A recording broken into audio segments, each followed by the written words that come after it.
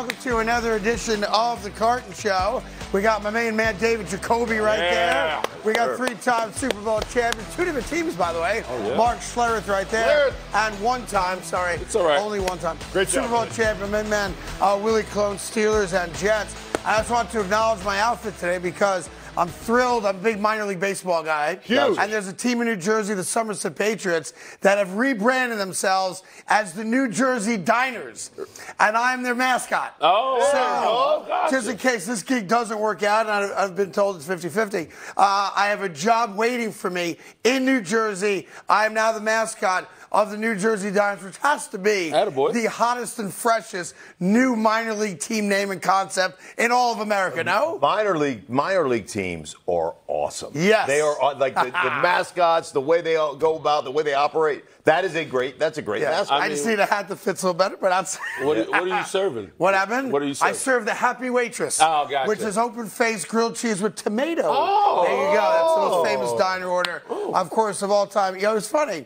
You guys may not know this, but I'm a voracious reader. Like to read a lot, No, all right? good for you. And uh, I found not only a new book I recommend for everybody, but I actually have a new favorite coach in the NFL. Now, I know a lot of you say, no, you're Robert Saleh's boy. And yeah, Sal and I are good friends, Mm-hmm. and uh, he's in some hot water right now, which we'll get to a little, bit, a little bit, a little later on in the show. The Jets dysfunction continues. But this Dave Canales, who's the new head coach of Oh, the you Carolina Panthers, book? You read his book? Read the book. Read the book. You may not know this, but Dave Canales wrote a book. The name of the book is "This Marriage?" Question mark. The question that changed everything.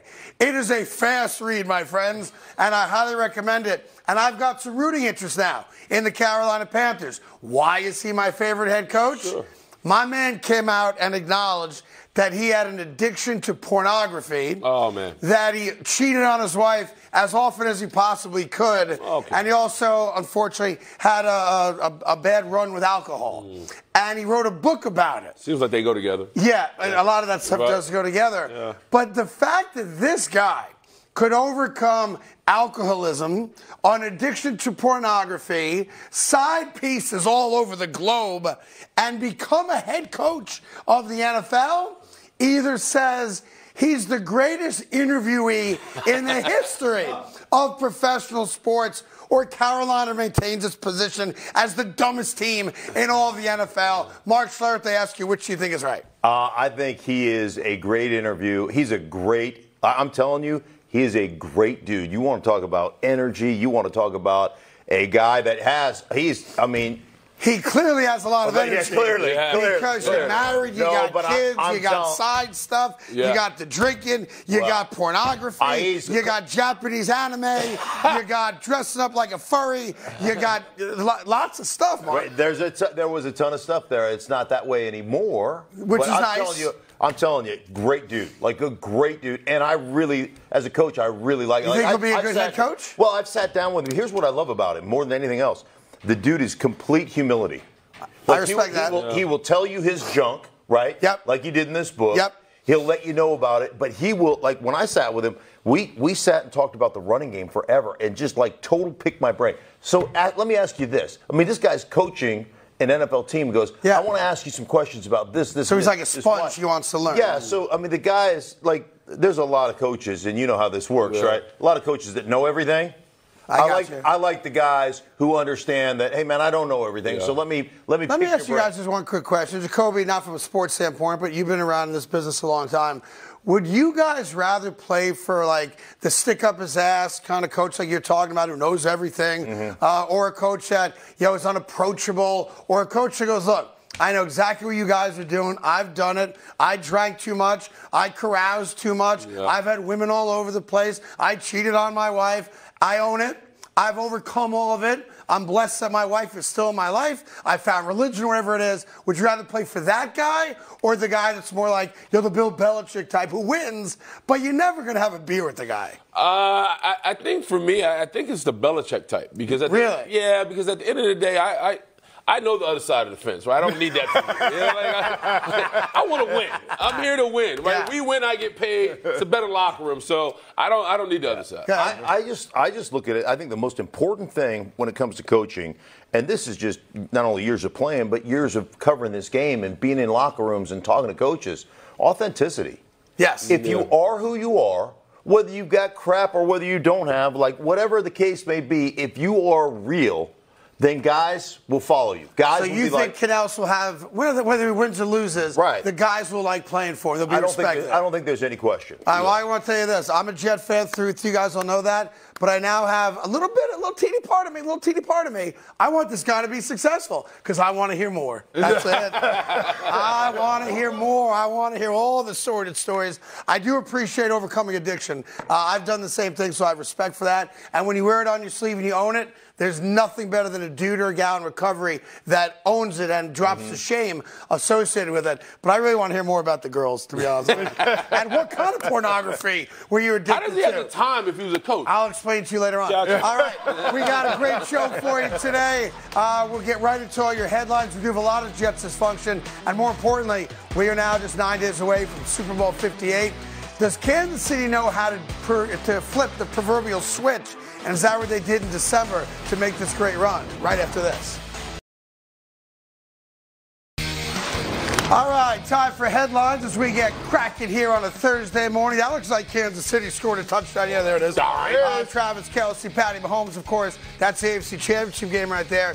Travis Kelce said in an interview on his own podcast yesterday that there is some truth to the notion that they were kind of sleepwalking a little bit, been there, done that, and didn't flip that switch until December. And that's why we're seeing better football out of Kansas City. I find it hard to buy that because I saw the frustration on the sideline week after week. We saw that offense only score, you know, 17, 18 points a game for a long time. But I appreciate what he's saying that they never really panicked. They won the division, that wasn't up for grabs. And they knew we're good enough to win on the road, we can win at home. And now that we're in December and January, we know exactly what it takes to win. You uh, put any credence into that? Well, I know Spags had talked openly about when they lost to the Raiders at home in that second half, where the Raiders pretty much didn't throw the ball; they just ran the ball down Right, their throats right. and, and walked them out of their own building. Um, it, Spags said, you know, it wasn't him going to those guys and saying, "Hey, we got to do better." It was the guys collectively saying, "Hey, this is not who we are. This is not what we built." So it was more of a players-only thing. They really kind of rallied around that. But overall, man, like these guys have been there, done that, right? So they know they know the map. Now, Now, able to. let me ask you this, Mark, because I, I was in Denver doing talk radio uh, on one of your championship runs, Mm-hmm. and it, if I have the facts wrong, please stop me. But my memory, I think of the '98 season was you guys are undefeated, undefeated, undefeated, lost back-to-back games at the end of the season, and then the big question was, uh-oh, what's wrong with Denver? Do you remember a moment where you guys, after back-to-back losses, I think you were 13 and 0 at one spot in that year, Yeah. uh, were like, uh-oh, what's wrong? Hey, it's the playoffs. We know how to flip the switch and get right back to the type of football. No, I mean, I think you have a lot of confidence in what you've done, what you've done in the past, who you are, the way you've played. Um, you know, once we lost the first game, uh, coach sabotaged us in the second game. Meaning what? Because it was the you Well, lost we to were- the Giants. We, we, lost to, we lost to the Giants. Right. And then we went on the road to play Miami, Okay. which I call a gold bond game in Miami because right, you got to put a lot of powder on your yarbles. So like you got like that. There's Now, no more it's miserable. Called, it's called chafing. right. Yeah, there's no yeah. more You ever play 36 place. holes of golf in one day? Right. That's what he's talking about. There's the most miserable place to play in December is not Green Bay, it's Miami. by far. Really? It's By miserable, far. right? When you're fat and you're out of shape, and you're sucking eggs, and you're not used to like you're Yeah. not used to the heat anymore. And anymore. it's 30 degrees. You come from up north, it's 30, 40 degrees. Right, In Miami, it's 90 degrees. Miami is miserable. And you, you listen to salsa. I'm finding this so hard to believe. Right. miserable. No, guys hate it. You oh, hate it. Oh, hate it. Anyhow, so we're playing. we're playing Miami. Yeah. And we know that the possibility is that we're going to face Miami in the playoffs. Okay. So we ended up we ended up literally going in with two or three runs, and we ran one protection. We ran three jet, which was a turn strong to the right hand side. So myself and Tony Jones were one on one the entire Oh, that's game. brutal. It's it was brutal. Brutal. It was br- and we did nothing. Z- We showed them zero, and they beat they beat our ass, and they were like celebrating like they won something, you know. and then they came to Denver in the playoffs. We beat them 38 to three. I mean, just smackdown. Shanahan set him up, huh? Yeah, oh, but complete and total. Got it. So that's a sabotage. different kind of scenario. Look, I appreciate what But you know, you like Yeah. Travis. They, they, there's some truth, and I hate to flip the switch mentality. Yeah. But there's some truth. We've done it. We've been there. They We're who they that are. good, and we got Pat Mahomes. Yeah, and I should also mention that, that Mark knows this. Mark played with a guy named Bill Romanowski, and Bill Romanowski had equity in a company called Flip the Switch. It was a, Yes. sports apparel brand in Denver because they thought they knew how to boop, flip the switch. Oh, wow. So, look, Kelce had a great game. Kansas City knows how to win, uh, but now you're in the Super Bowl. There's no more switch uh, to be flipped. Uh, number two, there's a damning article um, uh, online about the New York Jets this past Shocking. season uh, talking about the level of dysfunction inside that locker room. I mean, you've got some unhappy dudes who are no longer Jets, whether they be on the coaching staff and or players who are now spilling the beans. Uh, to me, this is an article that never needed to be written. They talk about the coach being paranoid and uh, trying to figure out ways of making himself look better. As you see right there, it's just an effing mess. Something needs to change. An AFC general manager said Aaron Rodgers is the general manager of that team. Well, we've known that the whole year. Yep. And Hackett never changed the offense to accommodate for a different skill set of Zach Wilson uh, as opposed to Aaron Rodgers, who, of course, got hurt on the fourth play. Here's my problem with the article. We knew all this stuff already. Right. Like we talked about it every week for four months, right? And if you want to talk about the dysfunction of the Jets, I'm your Huckleberry. I'll do it all day, every day. The Jets season ended when Aaron Rodgers got hurt, period, stop. And we can make all the you know arguments you want about Robert Saleh's not a winning coach. He hasn't been. Joe Douglas is not a winning general manager. He hasn't been. You can't tell the Jets story without starting and ending with the fourth play of the season Yeah. when Aaron Rodgers got hurt. Period. Stop. Yeah, you're right. I mean, everything that was talked about in that, that little article, we've already known. The problem is that right now, moving forward, it seems there unless they go out and get a guy in case Aaron Rodgers gets hurt, you know, we're not going to be satisfied that this, you know, this organization is moving in the right direction. But I think dysfunction that's just riddled around the Jets, man. There's nothing that was said in there that we personally didn't know. Yeah, it's like, yeah, Robert Saleh made a list of every coach like in the history of football that lost his starting quarterback and showed what their record was after losing the starting quarterback. And obviously the records aren't very good. Right. And he was showing that to make a point of it ain't my fault. My defense is badass. We're a top five defense. What do you expect me to do? My general manager didn't get me a legitimate, viable backup quarterback. That's not on me. So much more on that coming up. But what would be the NFL without another offseason of Jets dysfunction? You said it's a damning article. Yeah. No, it's not a damning article. It's- just an article because that's exactly what it is. That's who the Jets are. It's the most jetty thing ever. Yeah, J- Jetty. It's a Yeah, jetty. it's a jetty Oh, you love it. You, that. Jetty. Mark loves poking New York sports fans, man. Typically Giants fans, but he loves the pokey, pokey, pokey. Uh, Micah Parsons spoke. Uh, he recognized that he's not the best player in the league, I guess. But uh, he heard Jerry Jones's comments about being all in, as we discussed earlier this week. And Micah came out and said, I hope so, because we didn't do it last year, meaning the Dallas Cowboys did not acquire more talent, talent that he thought they should go after. But I'm thinking about saying, man, when you beat the Giants 40 to nothing, Yeah. When you blew out the Patriots, You when you beat the Carolina Panthers, when you had uh, home field advantage up to the NFC Championship Mm-hmm. game, seemed like you had enough talent to win. What happened, Micah? Well, on, on top of that, you got to stay within your pay grade, right? Like you're not you're not the owner. You don't tell the owner what to do. You know, allow Right. him to do what he does. At the end of the day, How about you get a couple sacks in a big game? But I was going to say that. How about you pop off the tape? How we don't have a tape against you getting 49ers, you getting body slammed by Juszczyk, right? Like there's there's tape out there where you're not the guy. Yeah. So stay within your pay grade. So Micah Parsons, uh, not afraid of a microphone at all, but uh, apparently afraid of top sacking the Dude, they're quarterback. one of the, the top five talented team in the National Football Right. League, bar none. It's, You got, talent is not your issue. I agree. I agree. that is not Quarterback your players. issue. That's obvious. We all know that. All right, good. uh, brand new segment here uh, that Jacoby's going to take over. A little something we like to call small story, big, deal. Take it away. Okay, so the Jets did not wish What? Robert Saleh a happy birthday yesterday. Oh. That's a small story. However, big, deal. Big Okay. deal. Yeah. For the last 12 years in a row, the Jets social media accounts has wished their head coach a happy birthday. And just all of a sudden, they didn't Uh-huh. do it this year. Yeah. Does that tell you that Robert Saleh is out as a head coach? Well, I know, I know, I know that there are, there are, there's blood in the water. Right. I know there's some talk out there that the Jets are actually looking at some uh, Titans uh, assistant coaches to bring it to the fold, Oh. and that there's some interest maybe in a guy named Mike Vrabel. Yeah. Slow your roll out there. Mike Vrabel's never won a damn thing. But they didn't say happy We're talking about- birthday. But here's the craziest thing about the Jets, because like you said, last year they wished him a happy birthday. Yep. The year before that, they wished him a happy birthday. The 10 years before that, they wished whoever the coach was a happy They birthday. They knew it was his birthday But yesterday. I have to give the Jets a pass to this one for one reason. They wished me a happy Oh, there you birthday. go. And maybe they got confused. Are you the head coach of the Jets? Because we look very Bald heads. similar. Well, wait- and maybe they just got, Got it confused. confused, yeah, yeah. And they were like, handsome bald guy is on to that must be our coach. Happy birthday. Yeah. So that's so you happened. guys share a birthday. We do share a now, birthday. here's the 10 deal. years apart, Like yeah. 12 years in a row, they've been absolute dreck, wishing their coach a happy birthday. Good point. Oh, good maybe spin. this is a Good may- spin. Right. Maybe this is a hey, we're gonna try doing something new, Different. Not, Yeah. But not I, wish yeah, our guy as happy Willie birthday. knows, as you guys know, I'm, I know the Jets very well. I'm very close to the New York Jets. I know what happened or is going to happen in about an hour and 40 minutes when the 23-year-old social media director for the New York Jets comes to work. Pack your bags, buddy. yeah.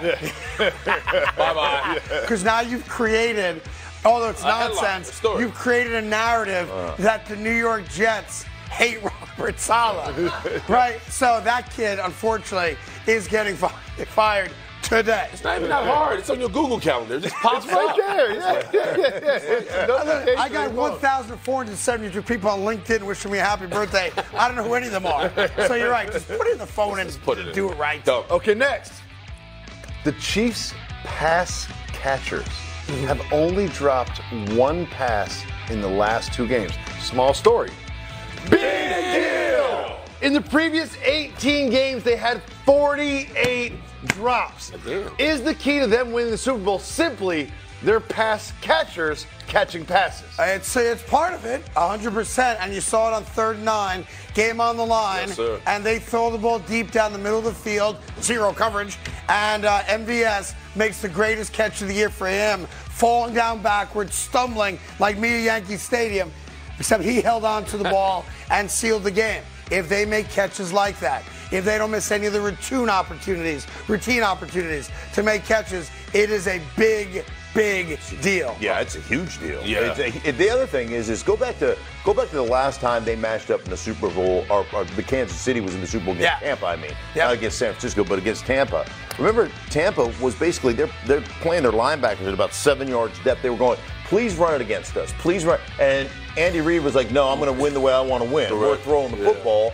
And they end up losing that. Yeah. What have they done the last couple of weeks? Isaiah Pacheco I've been has saying been it a week. right. Yeah, he has been been he has been the offense. Yeah. Man. He has been the guy they've run the offense through. Facts. That's a that's smart coaching. Remember my this opinion. though, not a prolific offense, a smart offense. Right. And I think that's the difference between Kansas City uh, during this dynasty run and Kansas City this year. They're not scoring 30, but they're smart now in how they run their offense, Mm-hmm. as opposed to a run being a dump off pass, which they count as a run. Now they're handing the ball off and letting Pacheco do his thing. So Yeah. I, it is a big difference. And Kelce's been catching a lot more. You talk about MVS in, in crucial situations, like they're, the trust is back. Yeah. That's the thing. They're Yeah. able to trust the receivers that are making plays. you know, you're a very handsome man. I- know, I Very don't handsome. that enough. You look great today. Thank you for everybody Bill, out you look there. great today, buddy. Well, you know, I showered. That's that helps. Starts Oh, with a you shower. did? Yeah, it starts with a shower. Oh. All right, listen, we got much more coming your way.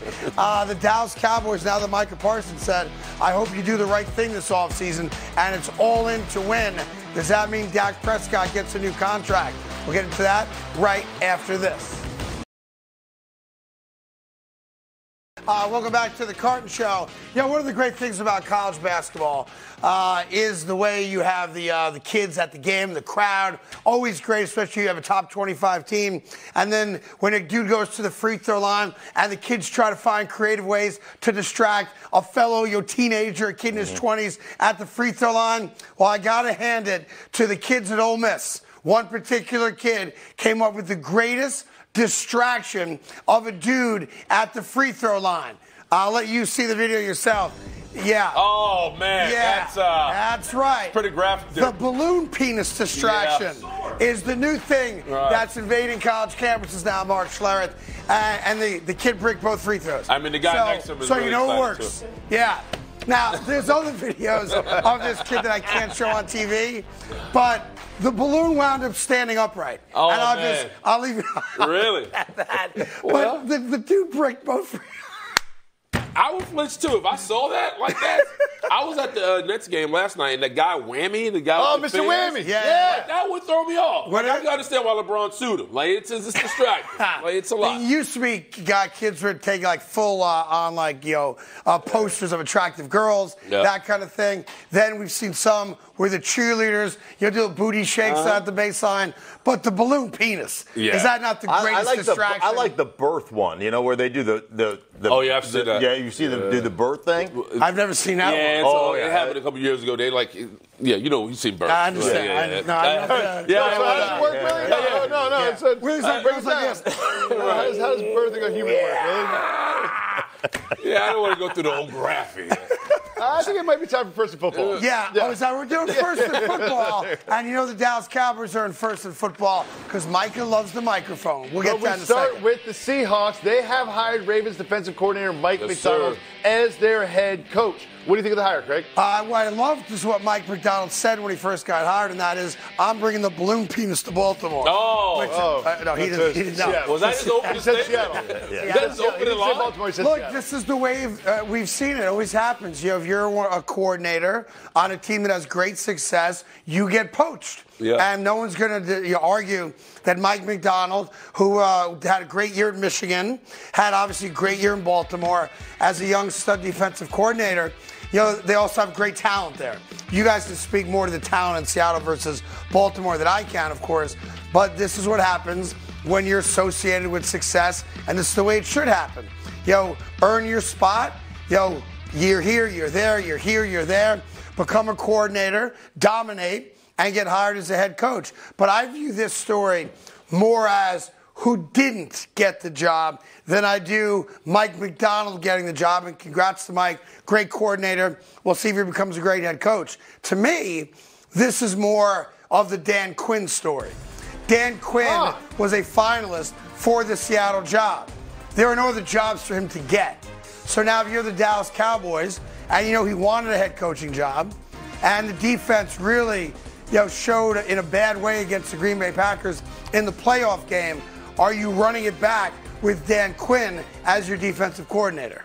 Yeah, I don't see it that way. I, I see it because I think he got the job because of his resume. You got to understand, he beat all four NFC, NFC West teams. Great. Take Macdonald out of it. What do the Cowboys do with Dan Quinn? You bring him back because they said they Do wanted you? him back. Why not? Like, what? what Because Green Bay embarrassed you. That's why. Like the, the the last taste I have in my mouth as a Dallas Cowboy fan, among other tastes, are my defense didn't show up. Period. Stop. Why am I bringing Dan Quinn back? My defense didn't get the job done. Right? But, but yeah, but Jerry Jones doesn't fire anybody. So I mean, like, what are you what are you going to do? Plus, there is still the Washington job, right? And Dan mm. Quinn has interviewed a couple of times for the Washington job, so that's still on the table. I, you know, I look at Seattle, and it just is endemic of the National Football League in general. Is they think because you're young that you can communicate. That's the dumbest thing I have Yeah. ever. Just because you're a young dude, you can throw some emojis on your text doesn't mean that you can communicate with with Right. players. Right. Like guys, like there's nobody that's better communicated with his players than Wade Phillips, and he's 100. Sure. Wade is awesome. Wade is great, Yeah. yeah. So you know, the, you just have to understand what the guy is. The other thing about Seattle is when they were winning championships, Had a defense. we could sit there and talk about Russell Wilson. We could sit there and talk about their offense, beast mode. But it was that defense that was Sure. generational at the Yeah, it time. leads you to boom. And, and that's and they have lost that Clint Hurtt. We saw him get fired. He went on to be a D line coach somewhere else. So they have struggled the last few Yeah. years even though they're a talented team, they've Yeah, struggled. but I'll tell you, I know we got to move on to another topic. I love the hiring of Macdonald because I'm one of these guys. I hate the same old, same old. Like guys that get their second chance, their third chance, their fourth chance, their fifth chance. I love the new blood that's being injected into the NFL. Young guys in their mid to late 30s. Most of them were former players, which I think is a great way to go. Mm. But I love the fact that we're not bringing out all the old heads again. Let's hire Norv Turner again. You know, let's hire Dan Quinn again. I love the move. So I like it, and that's that. Moving on to second and football. We knew this was coming with the Bengals. Tee Higgins, there's a decision to be made there. And a Cincinnati Bengals executive, Duke Tobin, spoke about the team retaining Higgins. And here's what he said, quote, I want Tee Higgins back. Yeah. Everyone on our team would like Tee Higgins back. There's a pie. Mm. And there are things we can do and can't do because of it. We'll see. Does that make you feel like we've seen the last of Tee Higgins in a Bengals uniform? Yeah, because he's an unrestricted free agent. So there's going to be 10 teams bidding for the services of Tee Higgins, and I think the Bengals made a calculated mistake. You know, as, as Mark said yesterday, the salary cap in the NFL is quote unquote fungible, which means you can make it work if you want to make it work. Mm-hmm. And remember the notion back four months ago, before Joe Burrow got the big contract extension, Joe Burrow said, I'm willing to take less to make sure we could sign the other guys. Guess what he didn't do?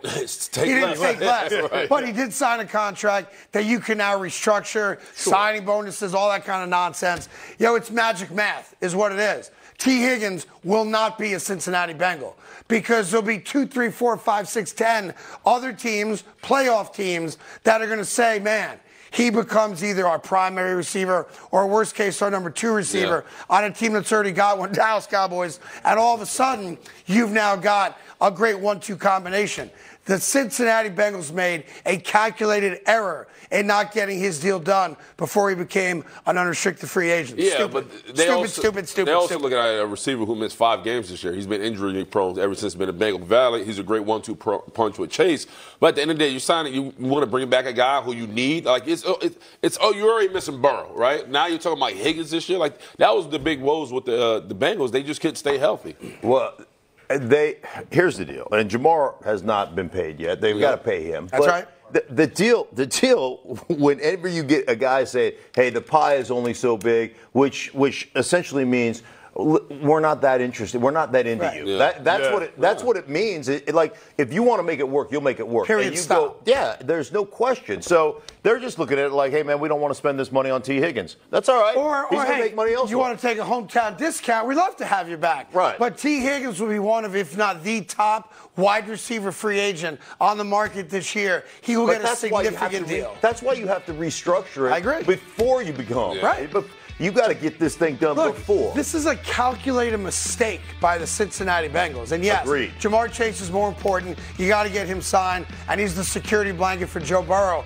But you're not winning a Super Bowl without talent around those two guys. yeah. And Tee Higgins is a mad talented receiver. He will never play another down for the Cincinnati Bengals, and you can blame the Bengals for that, nobody else. Moving on to third and football. Third. Uh, it's a sports show. Let's talk about the Cowboys. Oh. Jerry Jones was saying things as he always does. This time he was talking about his quarterback, Dak Prescott, and uh, didn't exactly have glowing praise for Dak. Here's what he had to say. Dak has room for improvement, and not just the scheme around him, but Dak uh, Dak can improve. That's a big plus when you've been playing the game seven years and you've, uh, by assessment, uh, have some uh, room to get better in. He did this year. I expect him to do it next year and the next year. I think it's fair to say that Dak dramatically improved last year to this season. Yeah. And he also has a huge cap hit for this season. Do you expect them to restructure his deal and sign him to a multi year deal this offseason? Yeah, I think they have to, right? He's got he's 59 million bucks against the cap, which is what like a quarter of the entire cap, you know, on one guy. So there's also not a lot of quarterbacks, or how about none, that are available that are better than him that you can go get on the free agency market, and you're not picking high enough to get a stud out of college. So the the Dallas Cowboys are in a weird spot. They have no choice. They have to restructure his deal. They have to extend him. They have to commit another three, four, five years to Dak Prescott as their starting quarterback. We all agree he's a top 10 quarterback. Sure. So that's not really up for debate. Right. The issue is the playoffs. And even Dak Prescott said after that loss to the Green Bay Packers, quote unquote, I sucked. And he owns that. And that's the narrative, and it's a fair narrative that you're paying a guy top five money at the quarterback position to deliver in the postseason, and he's never done that. So whether it's acquiring other talent, whether it's listening to Micah or not, whether it's finding a running back better than Tony Pollard, all that stuff that the Cowboys have to do, Dak Prescott is in a great position. There are no available quarterbacks better than him. They've got to keep him, and they have to restructure his deal. Yeah. So when you add it all together, Dak Prescott's going to get a five, six year extension, 40 to 50 million dollars a year, and he will go into year nine with two playoff wins.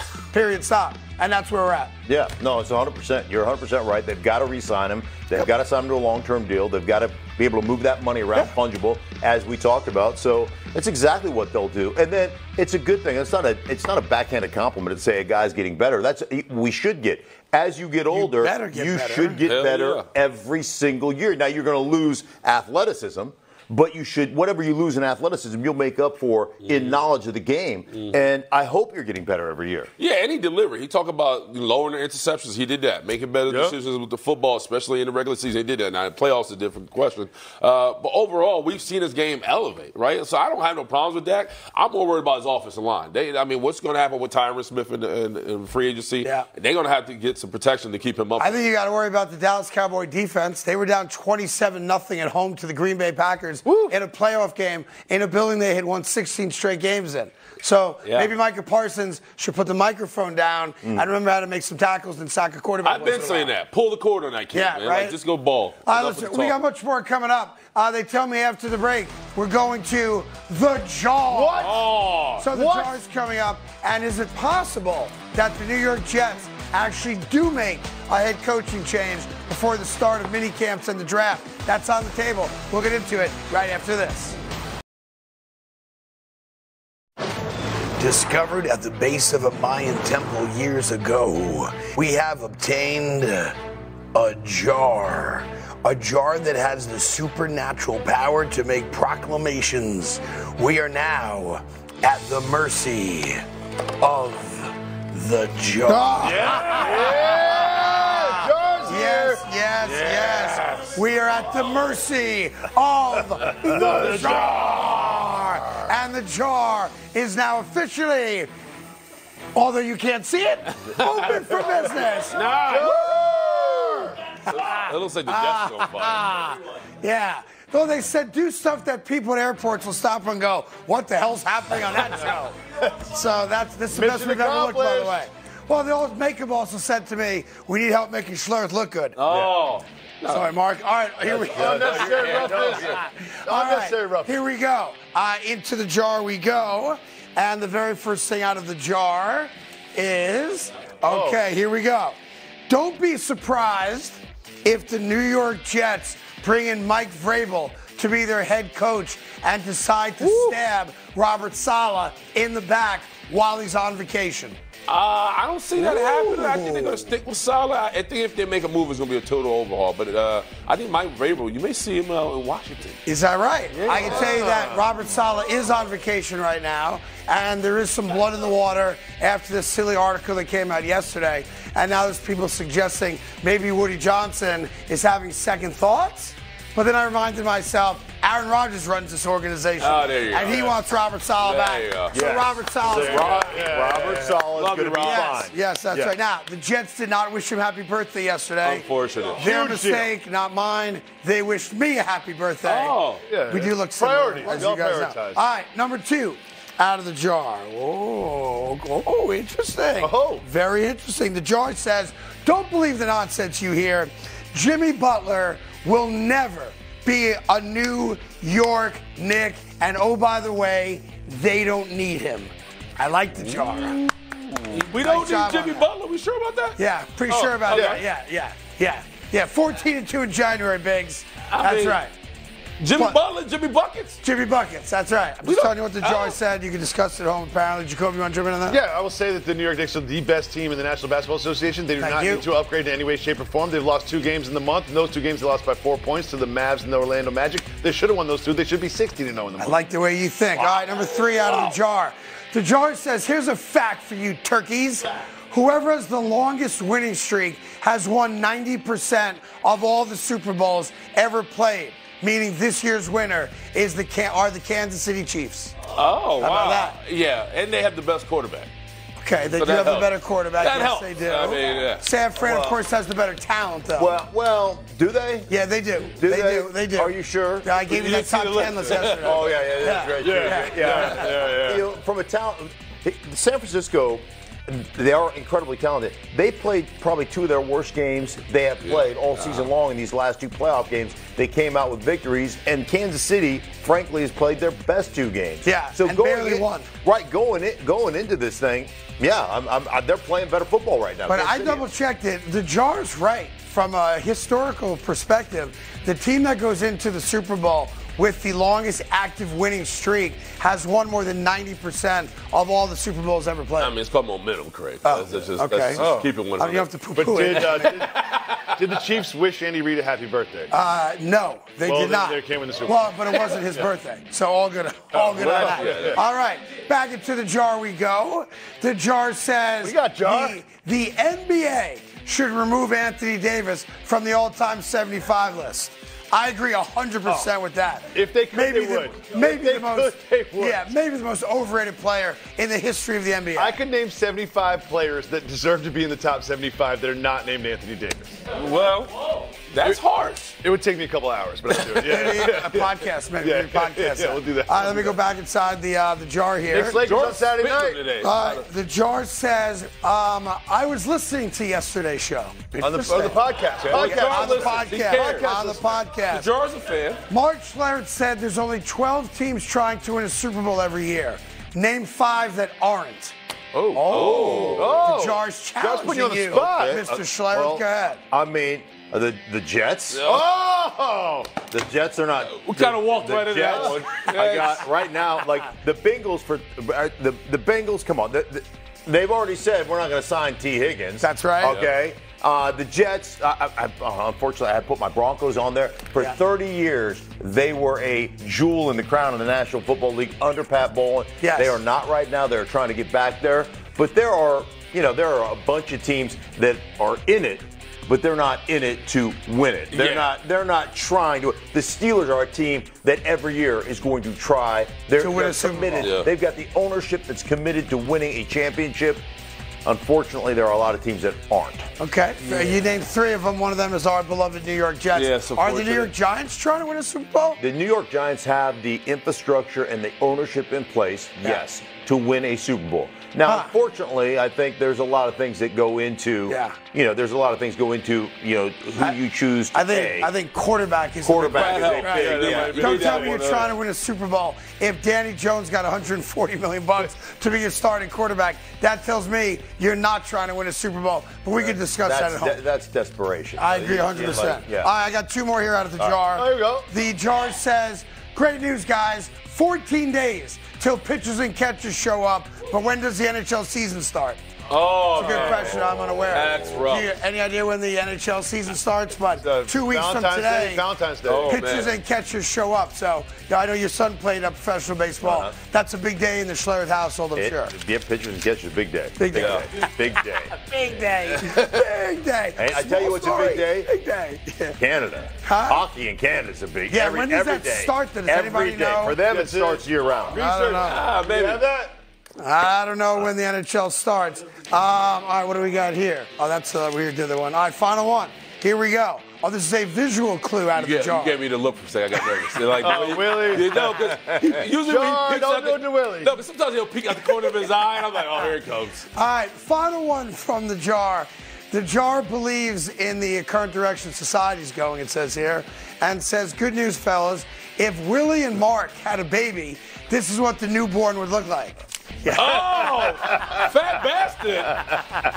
Well, I can see the hair, right? I got the hair. But here's the best part. And those are my those are my uh, boobs. That's The a good question. pigment is close. I was just saying, Yeah, yeah. why did you guys tan the fat bastard? right. What? He looks like a dirty hash brown. Yeah, How big that's is that towel? It looks like a, a dirty hash brown. anyhow. Well, we made a boy, so that Yeah, helps. you made a boy. We made a boy. There Yeah, you it's always go. good to have a first Uh, one. He'll be all masculine pro. child, your first child. Yeah. All right, coming up, uh, Super Bowl 58. We got Micah Parsons talking about Jerry Jones saying they're all in for 2024. And we got Travis Kelce talking about flipping the switch for Kansas City to win another Super Bowl right after this. Good morning! Welcome back to the Carton Show. We have morning headlines, and it starts with Travis Kelce on the New Heights podcast, brought to you by Wave Sports Entertainment. He spoke about the Chiefs and their approach to the season and the postseason and flipping the switch. Here is Mr. Swift. I think there's just that that that flip of the switch that you you kind of turn on in December. Yeah. Sense of urgency. You know, you want to try and have that switch for the entire year, but it's a 17 game season, man. Sometimes it's just, I mean, it's hard, man. It's hard, especially after 11 years, getting excited for a random game in, in November where you know you're about to wax this team. It's hard to get it going every single week. And um, Yeah. this year, it was, it was it was harder than ever. Okay, are you sold on the Chiefs being a completely different team during the regular season and flipping the switch in the postseason? First off, Jason Kelce has no idea what it's like to flip the switch. The Eagles went the other way in December. Right. Well, he's, So they, he- no, They turned it on. Yeah, They flipped the exactly. switch, the bulb is So out. he ain't got no idea what it's like to turn it on uh, in the month of December. You know, it's funny. When you win, we accept things we would otherwise never accept as fans. And because they're winning and they're in the Super Bowl, that's cute. Oh, that's Travis being Travis. Oh, he's the greatest tight end of all time, all that stuff. But the reality is that you know, when I give you my hard-earned money to come watch you play, I don't want to hear about any switches not being turned on. I expect you to play your best because I spent my hard-earned money to watch the product. And if you're losing, that would piss me off as a fan. It doesn't because they're in the Super Bowl. But if Kansas City had been eliminated, and they weren't, so they get, you know, they, they're playing with house money in that regard. And I'm a Chiefs fan, you know, that dropped $5,000 this year. I'm going to a couple Chiefs games with my kids. I would be livid if you told me as one of the best players on my team, yeah, it's hard for me to care about that game Sunday night against the Carolina Panthers because they suck and it's a long season. Like, dude, you're making $15 million a year. Uh, I don't want to hear that. I'm not making 15 million bucks a year, and you better play your ass off because I paid to watch you play. So he gets away with it because they're in the Super Bowl, but the attitude sucks. Yeah, but he's speaking to complacency. But he's also right at the same time. If you've played on good teams, there is this kind of I don't know what the word is, but there's this in the back of your head. You can turn it on when you want to turn it on, but when you're not able to turn it on, and the same mistakes you were making in week one, you were winning. Now you're making in week 12 and you're losing. Now those things get magnified. So I think he's just speaking to what he's been able to do, and they've been able to do it. Here they are. They're in the Super Bowl. You know what we want from our athletes? We want the truth until they tell you Yeah, the truth. correct. Then we don't want it anymore. Like that's that's how it works. And what what I get out of that is you can't play 17, 18 weeks on adrenaline. Mm-hmm. You can't. Right. You, so you're a professional, and there's nobody any more professional than that guy. I mean, the guy practices every day. That dude, you talk to anybody on Kansas City, Yeah. you talk to Fought through injuries, Yeah, I all mean, of it. it- so he does it the right way. But there are those weeks. It's a grind. It's a physically and mentally. It's a grind. It doesn't mean you don't go out on Sunday and play your ass off and try to win. Sure. But it's mentally. It wears you down. And then you there gotta, is that. And, and, and Marcus speak to you got to find it. Like playing in a cold weather city, like in Denver or Pittsburgh, it's gray early. It gets dark early. And if you're in if you're in a situation where your team just can't get right, man, you start to get depressed. Guys go through depression in the middle of the season. I'm that's I- why, I- that's why I- Miami will never be good. exactly. Why? Miami will never like. It's too much. Too much going on. Because you, you, I mean, everywhere else it's miserable, it's gray, it's nasty. The coach is on your ass. You know, it's, if things aren't going well. Yep. You got to just grind through it. And that, in Miami, you walk out of the facility and you're like, man, it's beautiful here. Yeah, Let's palm go. trees. Yeah, beaches, we, we walked in. We we did a Super Bowl in Miami. There was a big grease board. One of the I'm not going to say the guy's name, but he came in and go. He gave the top ten reasons on the grease board uh, Wednesday morning why the Miami Dolphins will never win a Super Bowl. And And part of it was 10 because they're in South Beach and all the distractions. it, it's like yeah, it was like all these strip clubs. That was well, just, I was saying, you know, one of the They're still reasons, there, though. Right, uh, as the story now goes, one of the reasons Vic Fangio wanted out of Miami is that there were guys that didn't put in the work and would rather be at the strip clubs on the beach, you know, talking to pretty Sure. girls and you know going to LIV and Fontainebleau and all that stuff, uh, and having milkshakes at Kith instead of buying clothes that are outrageously overpriced. Uh, but yeah. And that's why he wanted out of Miami because they didn't buy into being a professional. But I got to speak up for the fans here. And I say this with all due respect of what you guys just said. It's a grind that none of us could ever imagine. So I'm not suggesting that it's easy playing a 17 week season or an 18 week season Mm. in the NFL. I don't understand what that's like, so I'm not going to knock that aspect of it. But I'm going to knock that aspect of it because no one told you to sign up to play. Oh, that's no one, unfair. nobody said you had to take a job that pays you an ungodly amount of money and only go to work 17 days a year. Like no one said, you know, if you don't want to work, you you know, about February. March, April, May, June, July, and August, that you don't want that job. Fans pay good money to watch you guys do something that no one else in the world can do. And when I hear a guy tell me, man, it's hard to really care about that game because, yo, we got 17 of them, I'm like, dude, they give me my money back. But Craig, it's not just about the start of the season and playing all 18. It's getting prepared for the season, competing in training camp, uh, literally trying to fighting for your job. While you know the man, like if you know him being an old dog, meeting new dog, like no matter what he's done in his career, I'm coming for his job and to be able to survive that and Yeah. then play in the season. So it's not just about because we get paid the money, because the money doesn't equate for you being uh, missing from your family, uh, the injuries you suffer, uh, the mental trauma you deal with from being, you know, all the other stuff. So it's a lot. It's just not about the But money. it does, it does equate to being Right. uh, retired at 35 Right. You and have, being you able to live any life you want to live. You retire not because you, you play for free. Sundays are free. Correct. You you pay me to work Monday through Saturday Yeah. and to prepare in the off season and to do all that stuff. And what drives you out of the game, you know, injuries and all that stuff. But it Sure. really it really becomes it's not Sunday. It really becomes all the work that you have to do year round to prepare yourself both physically and mentally. So See? Sure. It's the guy that got cut in the JV. Why, why would it? Well, you would never understand. It's, it's a lot. I acknowledge I don't know what it's like to be a professional Right. athlete, and we know your story: 23 operations. So you know, you Think fought and fought and fought 23 to stay in the operations. game. 29. 29, But who's actually. counting? Whatever. By the That means this man's body was opened up 29 times. First off, he exaggerated half of them. No, right? okay. You know, an arthroscope is not surgery. Let's not pretend like it is. Yeah, not- they- it's not on other people. On you, it's a big Right. deal, right? No, it's I on other it. guys, it's, It's not. just like I think sometimes we lose sight as fans of what it takes to be you guys. Mm. I'll own that, and I think you guys collectively lose sight of what it's like to be us. Oh, there's and I a- think there's uh, a disconnect. that- I think there's. I think that is hundred percent. I think that's hundred percent real. Yeah. And and I always say this, like like people will tell you, oh, I, I you know I play for free. No, you wouldn't. Not if you were good enough to get paid. You, would, you would not play, Right. pay for. You would not play for free. Yeah. And and the reason that most people don't play. Okay, this is the reason most people. Good. One, they're not talented enough. Fair enough. And two, they don't have balls enough to do it. Facts. I buy AMB. Okay, I buy and that. and so there is there is a, a there's 1,500 people in the world that are blessed enough and talented enough and crazy enough to play this game. Yeah. And then, And- to be fair, there's also a couple dozen out there whose mommy and daddy won't let them play.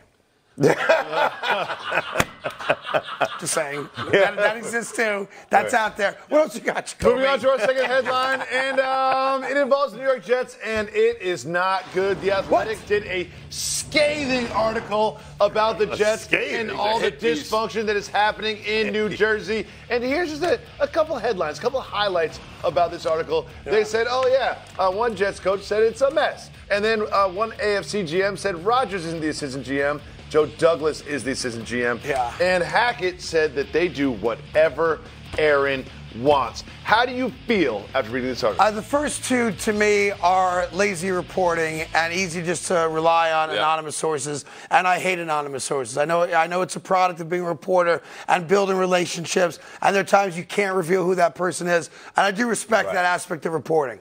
That being said, you're telling me that a general manager outside of the New York Jets is aware of the inner workings of the New York Jets front office? I call BS on that. We can all sit back and suggest we know what's going on, and we can see what took place with the players the New York Jets did sign in this offseason. That were all Aaron Rodgers guys. We sat on the show and we said it. But to now put together an article that is filled with 90% of its stuff we already knew and 85% of it anonymous crap that we already knew or heard whispers about in an effort to try to embarrass the New York Jets or get people fired, I say no thank you. You know, we said all year long that virtually every player that the Jets brought in was the guy that Aaron Rodgers asked them to bring in. How'd it go, Craig? Allen Lazard, Dalvin Cook, et cetera, et cetera, et cetera. And it didn't work out.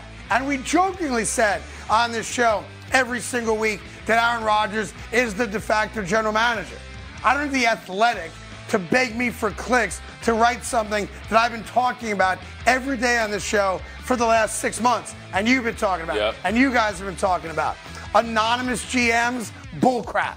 All right, the reality is this the New York Jets season ended and became quote unquote dysfunctional on the fourth play of the season against the Buffalo Bills when we lost Aaron Rodgers. Now, the Jets do have to answer, Joe Douglas should, as to why he didn't have a better backup plan of quarterback, why he was unwilling to bring in a veteran to help Zach Wilson out, even if Zach was going to get a chance no matter what. Robert Saleh should have to answer questions about game planning stuff. Nathaniel Hackett should have to answer questions about why he didn't change the offense to accommodate for a different skill set that Zach or whomever brought to the table.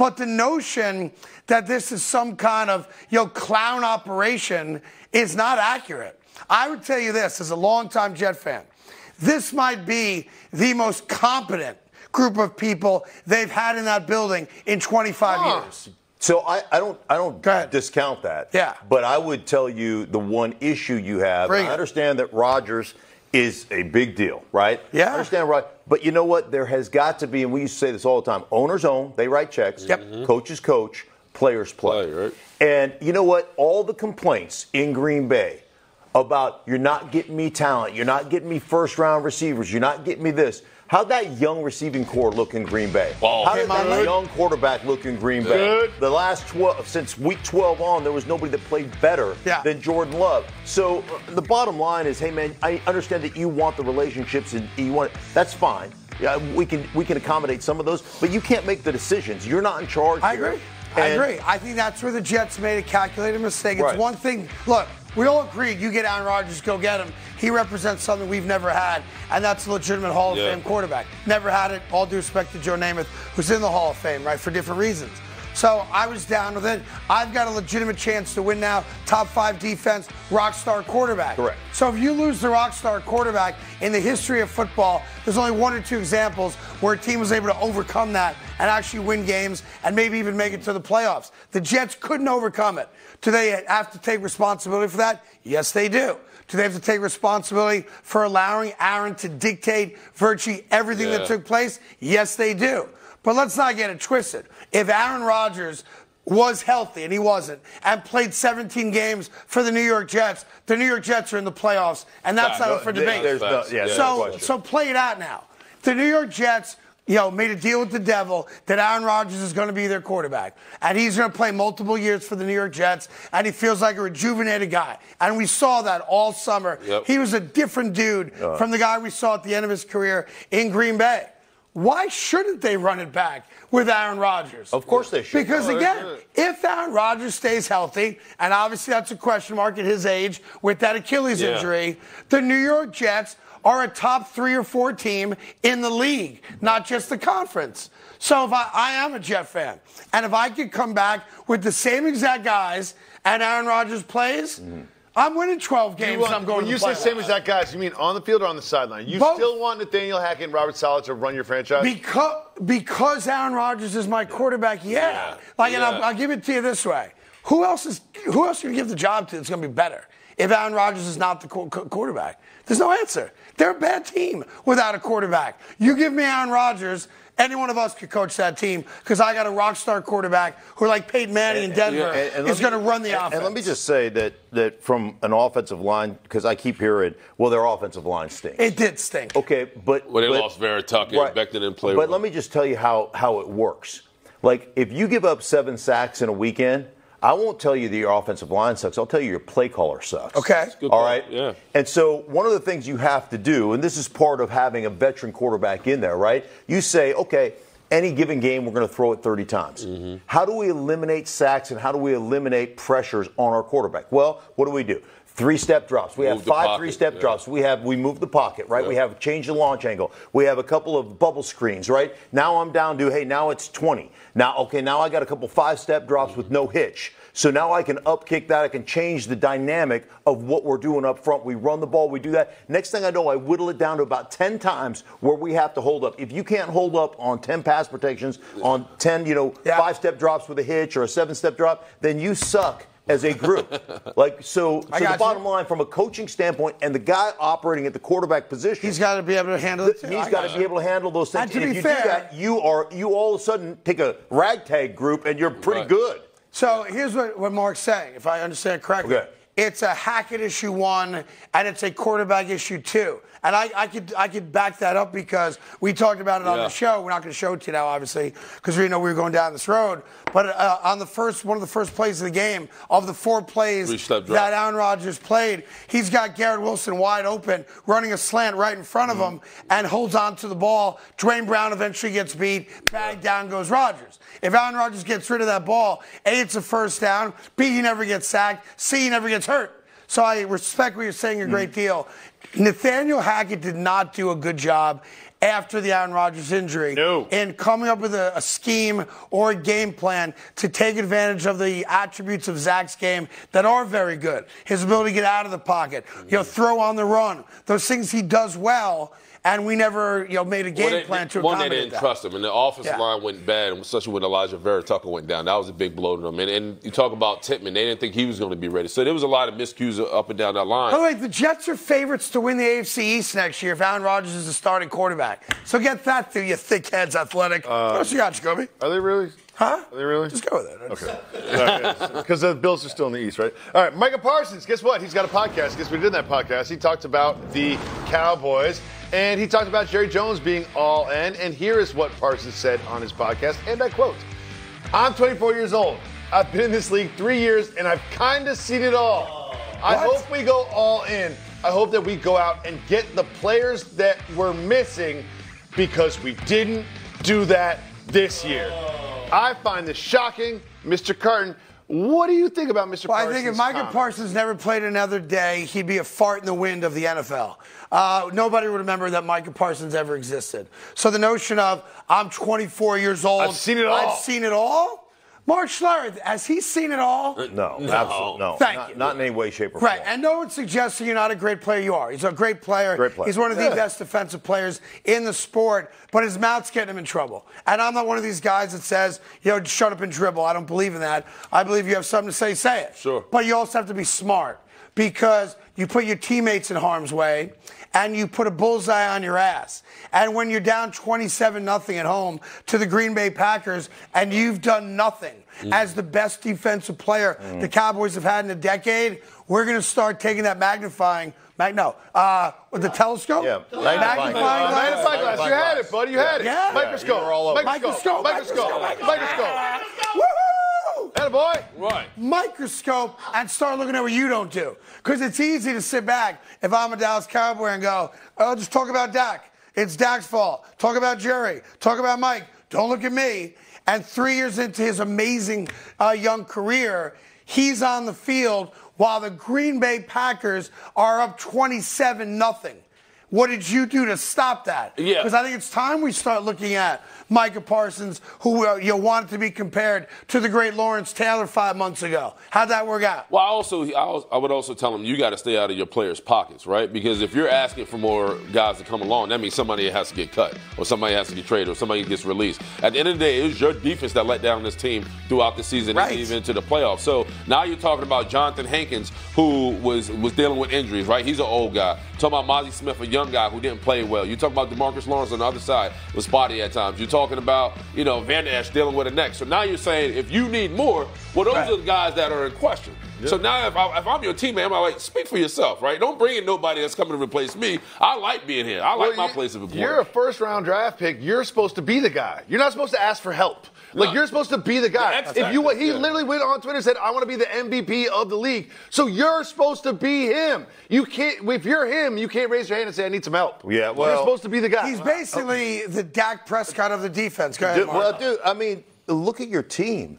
I mean, if we put them man for man on paper, like they would be one of the top five Thank talented Yeah, they got- football got teams it. Roster's in the not the National Football problem. League. And you know, and I, I say this all the time: if the games were played on paper, I'd spend a lot less time on an operating table. they're, they're not. They're not played on paper. So you know what? You guys got to go. You guys got to go out and play. You gotta go you guys got to go show that like that you're not just you know paper champions or paper tigers. You mm. got to go out and win playoffs. I went back and I checked while these guys are mumbling here uh, about what Micah did in that playoff game against the Green Bay Packers. How'd it go? The great Micah Parsons had two tackles. oh, Two tackles. Best defensive player since Lawrence Taylor had two total tackles. So now here's my question for you two knuckleheads. How does that play in the locker room? When Micah Parsons has two tackles in a playoff game and they get embarrassed on the defensive side of the ball, and he's out there chirping about what the Dallas Cowboys didn't do to get more talent here to help him out. Well, that's the problem, the chirping, right? When you don't produce and you talk, that's a problem. And Right. so a lot of guys, when you start seeing that, one, they're tone deaf, and then the guy next to you stops listening to you because now you now your mouth is speaking more than your action, and that's the issue with the Cowboys right now, particularly Micah Parsons. After losses or significant, you know, when he didn't pop off the tape, he still has something to say. I don't know in what world is that okay. Like I know, It like, shouldn't be. and it's still a but locker that's the new world, right? That's lo- the new athlete. Yeah. But it- I got to talk nonstop. People got to hear what I have to say. Yeah, well, I mean, uh, but a lot of times, like anytime you walk out, you break a huddle. You know, you're an offensive player. You got to plan for number eleven. Like how we're going to Sure. take care Sure. of number eleven. So there's always going to be. Seems like they figured out how to plan Right, for well, number there's 11. always going to be some former double team. There's always going to be some former slide to him. There's going to be something to take care of that guy because he's an exceptional player. But when you're not putting up multiple sacks and you're not putting up multiple tackles and you're not making the difference and you go down 27 to nothing, that's when you're supposed to keep your mouth Correct. shut. Let me ask you a question, Where, and I, I tease you about this on and off air so everyone knows the, it's real. When you guys decided that we're not speaking to the media, you're the offensive line Yeah, of the yeah, Denver yeah. Broncos during the championship run, I was there, and it was a big deal. They took the fine. We ain't talking. Uh, a, why'd you guys do it? And B, when there were guys in the locker room like a Micah who would chirp, did you guys try to control that in your locker room? Yeah, in our locker room, yeah, absolutely. There was an accountability factor. We the only reason we didn't talk to the media, I talk to the media every, day. It just nothing was on the record. So like, I mean, I talked to Anonymous I- source right yeah, there. Yeah, me, you know, Adam Adam Schefter and I were were tight buddies, and Yeah, yeah. you know, and so uh, he was a beat writer at the He time. worked for, the, I think, the Denver Post at the time. Yeah, the Denver Post. Yep. But that was just a game. That was just something to keep ourselves entertained. That's all that was. Uh, you know, when we went to when we went to the Super Bowls, we went we, we sat down and talked to everybody. Like it was that we lifted the the You, band. li- you lifted the band. Right. Yeah. But the, but the biggest issue is, and, and I think this is a maturity issue, and, and Micah Parsons needs to understand this, is, you know, the, the saying is don't point the finger, pull the thumb.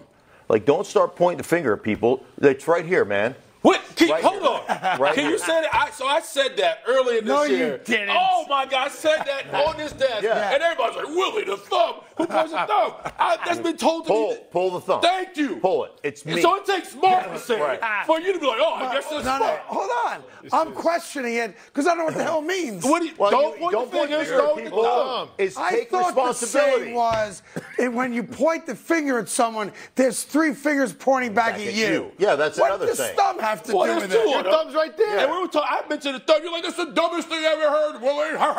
Well, let me say this, That was actually really good. Mark. That's the dumbest thing. I've oh! right. well, he Well, say yeah, suck. But again, again, take responsibility. Nobody wants to hear how bad everybody else played. Take responsibility, and that's the, that's what, I mean. To me, that's the bottom line. I want line. to put a button on it by saying that you, where you started. The roster is not the problem with the Cowboys. No. No. But if you're Micah Parsons and you're being like, oh, we need to bring some more players in here, the roster is not But the problem with they the took him off the Cowboys. ball. He was playing a true linebacker position, and still didn't have an impact. So they they try to move him around where he can get busy. He just didn't. Here's the good news. You guys have proven a point I've always known about the NFL. they give you guys talking points, and you guys all get the same scripts, don't you? Uh, talk about the thumb, not the finger. Talk about. I No, don't it's called good coaching. We just receive Yeah, it well. yeah, we yeah. soak it up. Coachable. Yeah, I've Coachable. seen- you want to start naming some of your coaches or no? Yeah. Yeah, exactly Yeah, right. some good ones. That Howard, Tomlin, Rex Ryan. That good ones. Rex is my dude right Yeah. there. Russ Grimm, Hall Russ of Grimm, the great There Russ you go. Grimm. There we go. So, Start name dropping. Here we go. All right. Coming There we go. Here we go. Coming up, we have a special moment in the San Francisco locker room between Nick Bosa and Brock Purdy. Oh. And we can now ask the question have we even seen the best yet of the machine Brock Purdy? Right after this. Gee,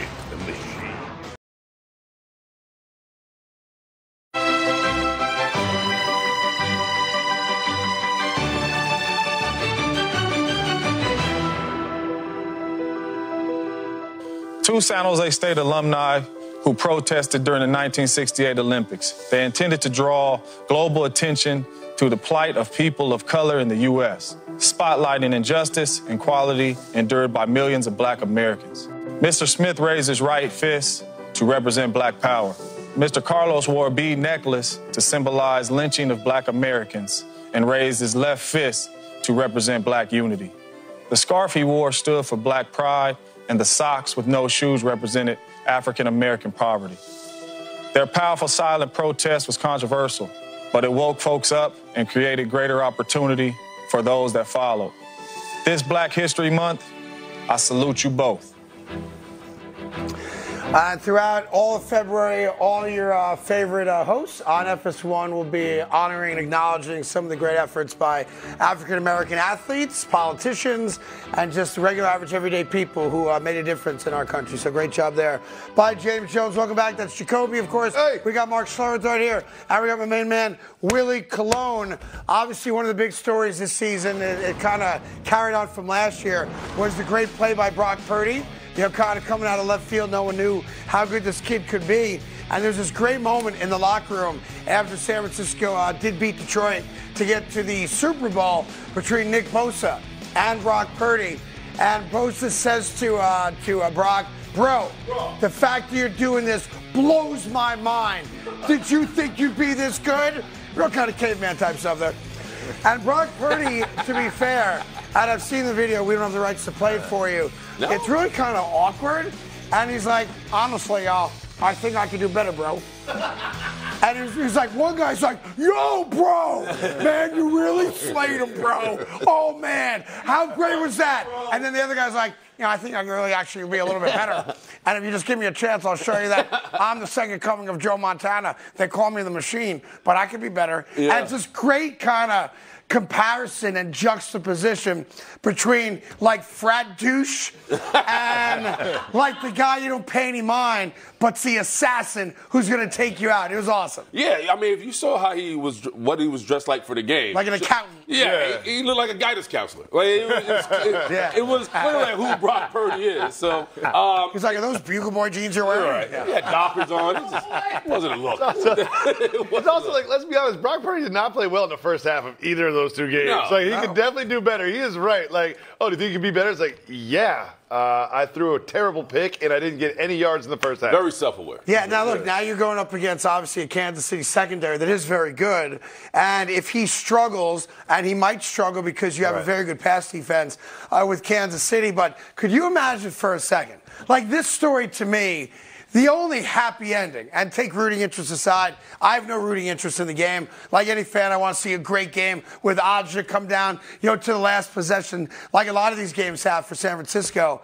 But could you imagine this kid outdueling the greatest quarterback in the league in Patrick Mahomes and leading San Francisco to a title. You know, one of the reasons America fell in love with Detroit is that they've never been there. Yeah. That's part of the story. Hey, let's watch a team that's never been there win because that means my team's got a shot next year. My team doesn't win, right? Mm-hmm. Now we've got a team that's got what? Five Super Bowl championships. These guys have won two out of the last three. It's like, God, who do I root against? But I view it the other way. How do you not root for, unless you're a Chiefs fan, Brock Purdy winning a Super Bowl? That story would be awesome. It, it, it's a great story. There's no question. I think America has a rooting interest in that In him, because he's, yeah. he's the he's the ultimate underdog. And Yeah. we love the ultimate underdog. But what he's going to face, and you know, you talked about uh, Patrick Mahomes. What you're going to face is dog. Spags Yeah. and that defense, and that defense is exceptional. And I think one of the things that Spag does a great job of Yeah. every week is finding what your weakness is and making you play to that weakness. Last week in the AFC Championship game, that defense did a tremendous job with their rush plan against Lamar. And I think one of the things you'll see is when they brought pressure, look at all the people they're bringing, right? They're corralling him. They call this a cage rush. But even when you get there, what's happening? Everybody stops, stays engaged, and you squeeze the pocket down. And the big issue for for Kansas City or for anybody when they're facing Lamar, I watched consistently anytime you got a free runner, like you got a guy that was freed up, Yeah. what happened? He makes a miss, then he gets outside of the pocket. There's six guys coming right there. Every gap is full. And they weren't trying to get free runners at him. Right. They were actually s- like So let me sitting stop you there and ask you the question. Yeah. One of the things we saw specifically for Brock Purdy, a little out of character for him Yeah. in the win against Detroit, and Jacoby's brought up a number of times this week, his ability off script to run. Yep. Now, can they account for that? And do you do the same thing you just showed us to stop if if Right. things are breaking down and the secondary is doing its job? We now know you at least have to have in the back of your mind the kid can run if he has to. It's not the focus of his game, obviously. Right. Do they do the same thing Well, to stop see, it? I, I think the big thing for them is you have to make San Francisco operate in a drop back game. Mm-hmm. So then it becomes how are we going to defend the run? How are we going to get them out of their play action stuff? Because Kyle Shanahan is the best, best in the league when it comes to designing plays that marry identical to their run game and they create space for their receivers and their receivers end up catching the ball in space and then Sure. they all become running backs. So, here's I, that- that's the I want to ask you another question because Yeah. when you show that, I'm saying to myself, well, look, you played for a long time. You played for a long time. Yeah. You guys can break down film and explain stuff to us that we wouldn't know or see. So I, I love watching those kinds of videos. But in the back of my head, I'm saying to myself, great that Spagnuolo, defensive coordinator, Right. obviously for Kansas City, can come up with that plan. But I also view it the other side. Like Todd Monken gets paid a lot of money Sure. to be the Ravens offensive coordinator. And I'm saying to myself, if Spags is coming up with creative ways to stop Mm-hmm. part of what you do on offense, why aren't you now adjusting to combat that? And one of the things that really got me a lot, and we've said it a lot of times this week in the show, and I don't want to you know rehash the Baltimore Right. game too Yeah. much because we're moving forward to the Super Bowl, but somehow, some way, Baltimore forgot who they were. Yes. Correct. And they Yeah. changed what they did well. And to me, you're going to have a much better chance of winning doing what you do best.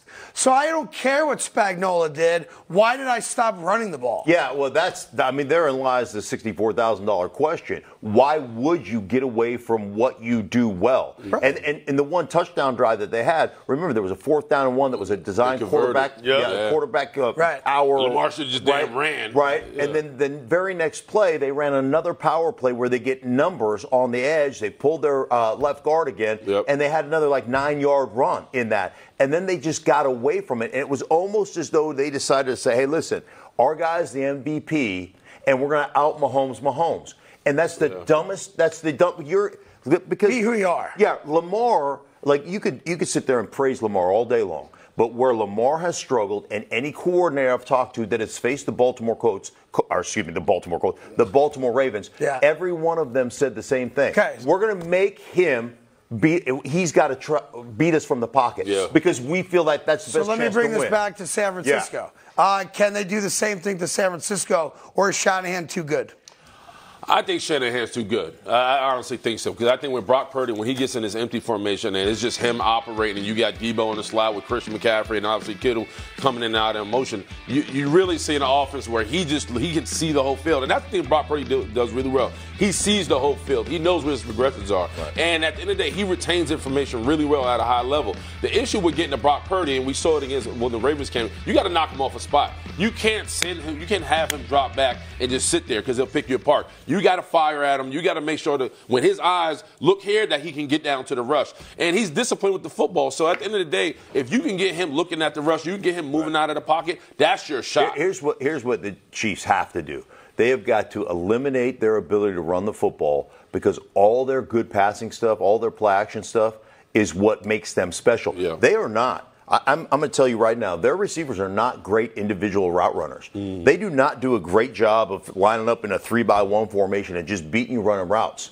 They they beat you with their scheme. That's really what they beat you with. And So, so, this if is really they a can battle make them, of uh, sideline minds. yeah, Right? if Which they can guy make you- the If other they can make you a drop back team, Okay. that's what the two teams have done. They've played so far. Now, Brock Purdy has found a way at the end of the game to make some pretty special plays. Yeah. Sure. Right? He's done that. But they have not been great. They, they've been as, as bad as they've been the last two weeks. It's as bad as they've been offensively all season long. Much more coming up uh, as we uh, get closer to Super Bowl 58. Uh, before we take a break, one NBA thing. Sorry, Philadelphia, but at them legs.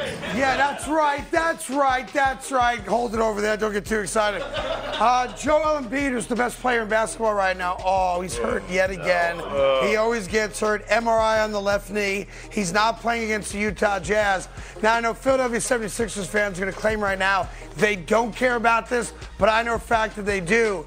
He can't miss more than five more games this year and be eligible for the MVP award. Remember, he missed, the, love he it. missed the game against Denver, and it does feel like he's trying to get to 65. It feels like he, he played in a game that maybe he wouldn't play, and if this rule wasn't in place and he ends up getting hurt, I think this is bad for the league.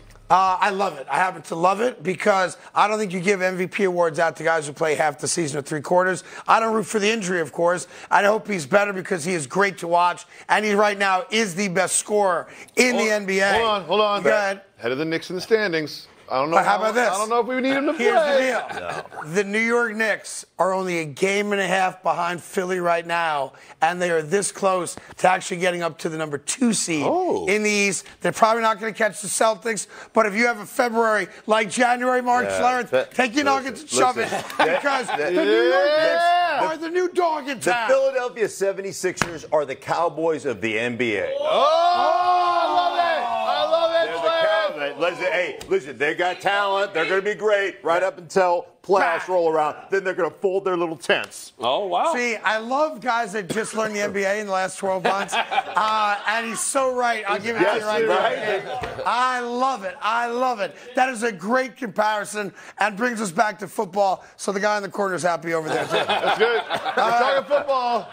Coming up, we got more football with the Cowboys extend Dak. it's our Cowboys. They've really got no choice. Uh, and uh, that's the Sixers of the NFL. Yeah, there you go. NFL, yeah. And we've got we've got a new segment here called On the Mark. On the mark. That's right. It All right. features Mark Schlereth, uh, obviously. And it's right after this.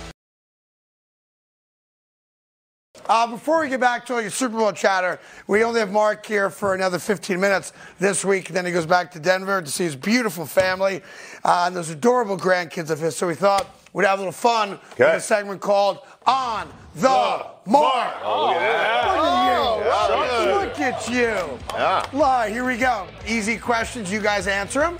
I'll see Okay. who gets the most points uh, at the end of it. You guys ready to go? Oh, scored. All right. Um, Mark should win this, by the way, just so you know. 'Cause it's named after him? Geared towards him. Oh. Uh, what lovemaking position did Schlereth want his number to represent? Oh man. oh, Wait a minute. You just gave away the answer, you knuckleheads. Okay, let's All right, move that on to was, the next one. That was a freebie. Okay. That was a freebie. Everybody Now you wins. don't need That- to- Everybody wins. You don't want me to answer the question? That was a freebie. We gave that one away. And now the real contest begins Okay. now. Right now. I was going to go right now. Now. All right. What are all sprinters on before they get set? Oh, oh got it. Eh? Okay. Okay. What are all sprinters on before they get set? Let me start with Willie Colon. Go ahead. Blocks. Blocks. What did you say? Blocks. What did you say? The mark. Yeah. God. On your mark. Yes. Get set. Great football players. Go. Great football players, right. these two. Great See, football players. Well, Great some football players. stereotypes are true. Really good at football, these two. Oh, man. Really good at football. You know what? Really good at football.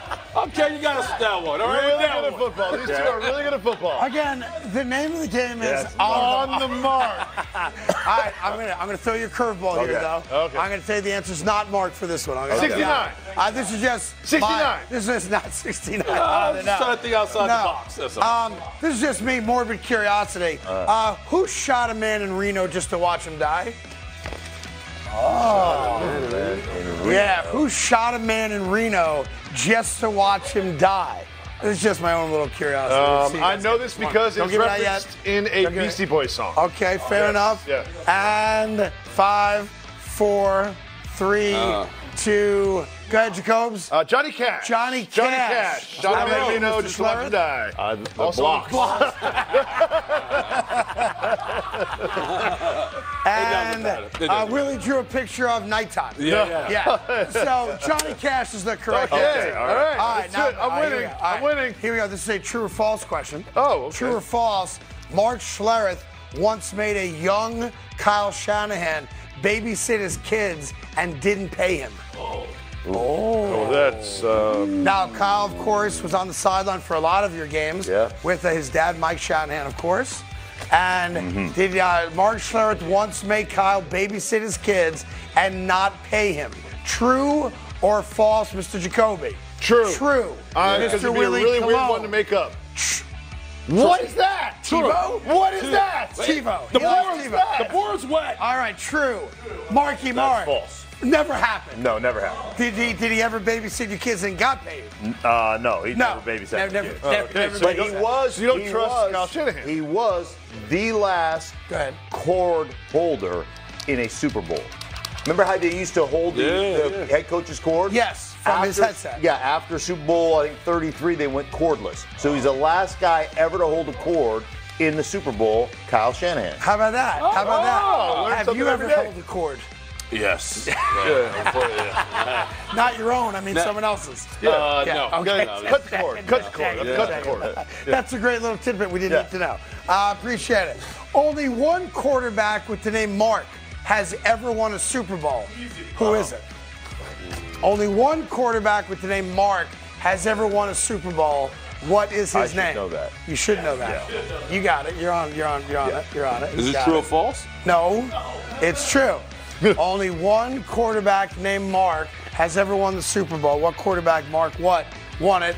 And, all right, what do you got, Wills? Mark Rypien. Mark Rypien. Yeah, yeah. Rip. Mark Rypien. Marquee Mark. Marquee Mark. Oh, okay. No, Yeah, no, that no. is- But that takes away what was going to be the next question. Mark Rypien is oh. correct. Yeah. Only Okay. guy named Mark That's crazy. actually win a Super Bowl. Crazy. And here's the final one for you. It's not who's the lead singer of the Funky Bunch. Oh. Uh, we just got that answer. That's Marky Mark. Yeah. Here's the final one. Dan Marino used to throw touchdown passes to a couple of Marks. What are their last names? Oh. Ooh. Dan Marino used to throw touchdown passes to a couple of marks.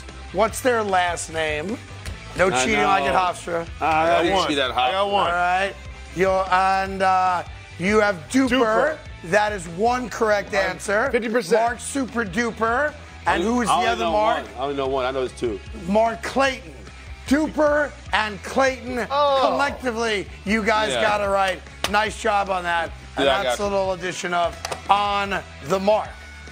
Who's the only quarterback to beat Tom Brady in Foxborough in a playoff game? Mark Brunell. Mark Brunell. Sanchez. Uh, we can go on and on and on and on. All right. From that, we go to First & Football. And here is Mr. Ajakobi. We start with the starting quarterback of the Super Bowl bound What? Chiefs. What? Now, he, this picture was from inside the NFL. It was a still shot, and if you take out the bottom third, What? you will see oh. that he, body like all on the rest show? of us, has a dad bod, and he said, "Yo, why you have to do that to me like that?" Now, to be fair, if you watch the full video, he looks like he is in pretty good shape, but right mean- there, not the best. But again, I told you guys a story a few months ago, and you guys all poo-pooed me.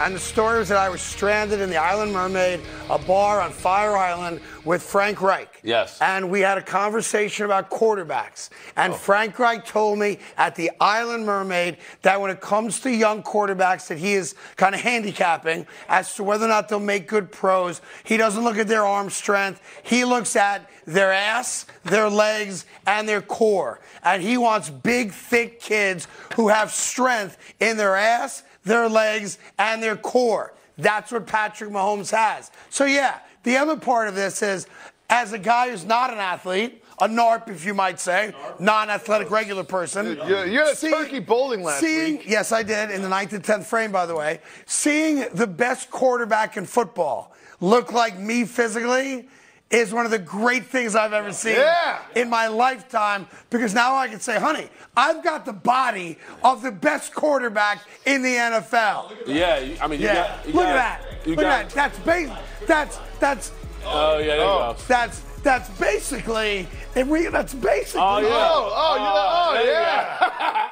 Look at Ratings that. are going me, up. Mahomes. Dude, yeah. Mahomes. Did- me. You, you guys Did you, were. uh, did you have an asectomy? Yeah. Did they remove it? Yeah, both of you guys are built like hot pockets. Congratulations on your first trimester, man. It's all right. Yeah. Big eating day for you yesterday. It's a birthday. It was a big eating day for me yesterday. yeah, yes. yeah, I go. killed a couple octopuses. There's no doubt about that. Oh, look at that. Oh. Look at that. By the way, The side animals are always. Yeah. I, am old enough to be his father. So Correct. let's not forget that either, okay? Great, Craig. Thank you. look I- great, Craig. Thank you for that. You might, Great. yeah, you might be in That's better shape. because I have Newton running sneakers and I put a thousand miles on those bad boys. Oh, and the, got the weight's just falling off. Are those Billy. Fig Newton tight. running sneakers? What happened, Fig Newton? Newton running I sneakers, love no? the Fig Newton. What, what else you got? Moving on. Let's talk about uh, Jerry Jones. Jerry Jones is uh, he's down in Mobile, Alabama for the Senior Bowl, and people put a microphone in front of him, and he said some crazy stuff, which he always does. This time he's talking about his starting quarterback, Dak Prescott, and his performance last year. Looking forward to next year. Dak has room for improvement, and not just the scheme around him, but Dak uh, Dak can improve. That's a big plus when you've been playing the game seven years and you've, uh, by assessment, uh, have some uh, room to get better in. He did this year. I expect him to do it next year and the next year. You never know if Jerry Jones is paying you a compliment or not. Because he was like, oh, he's been in the league seven years. Look, he's still improving. This is so amazing. Yeah. But he still needs to improve next year.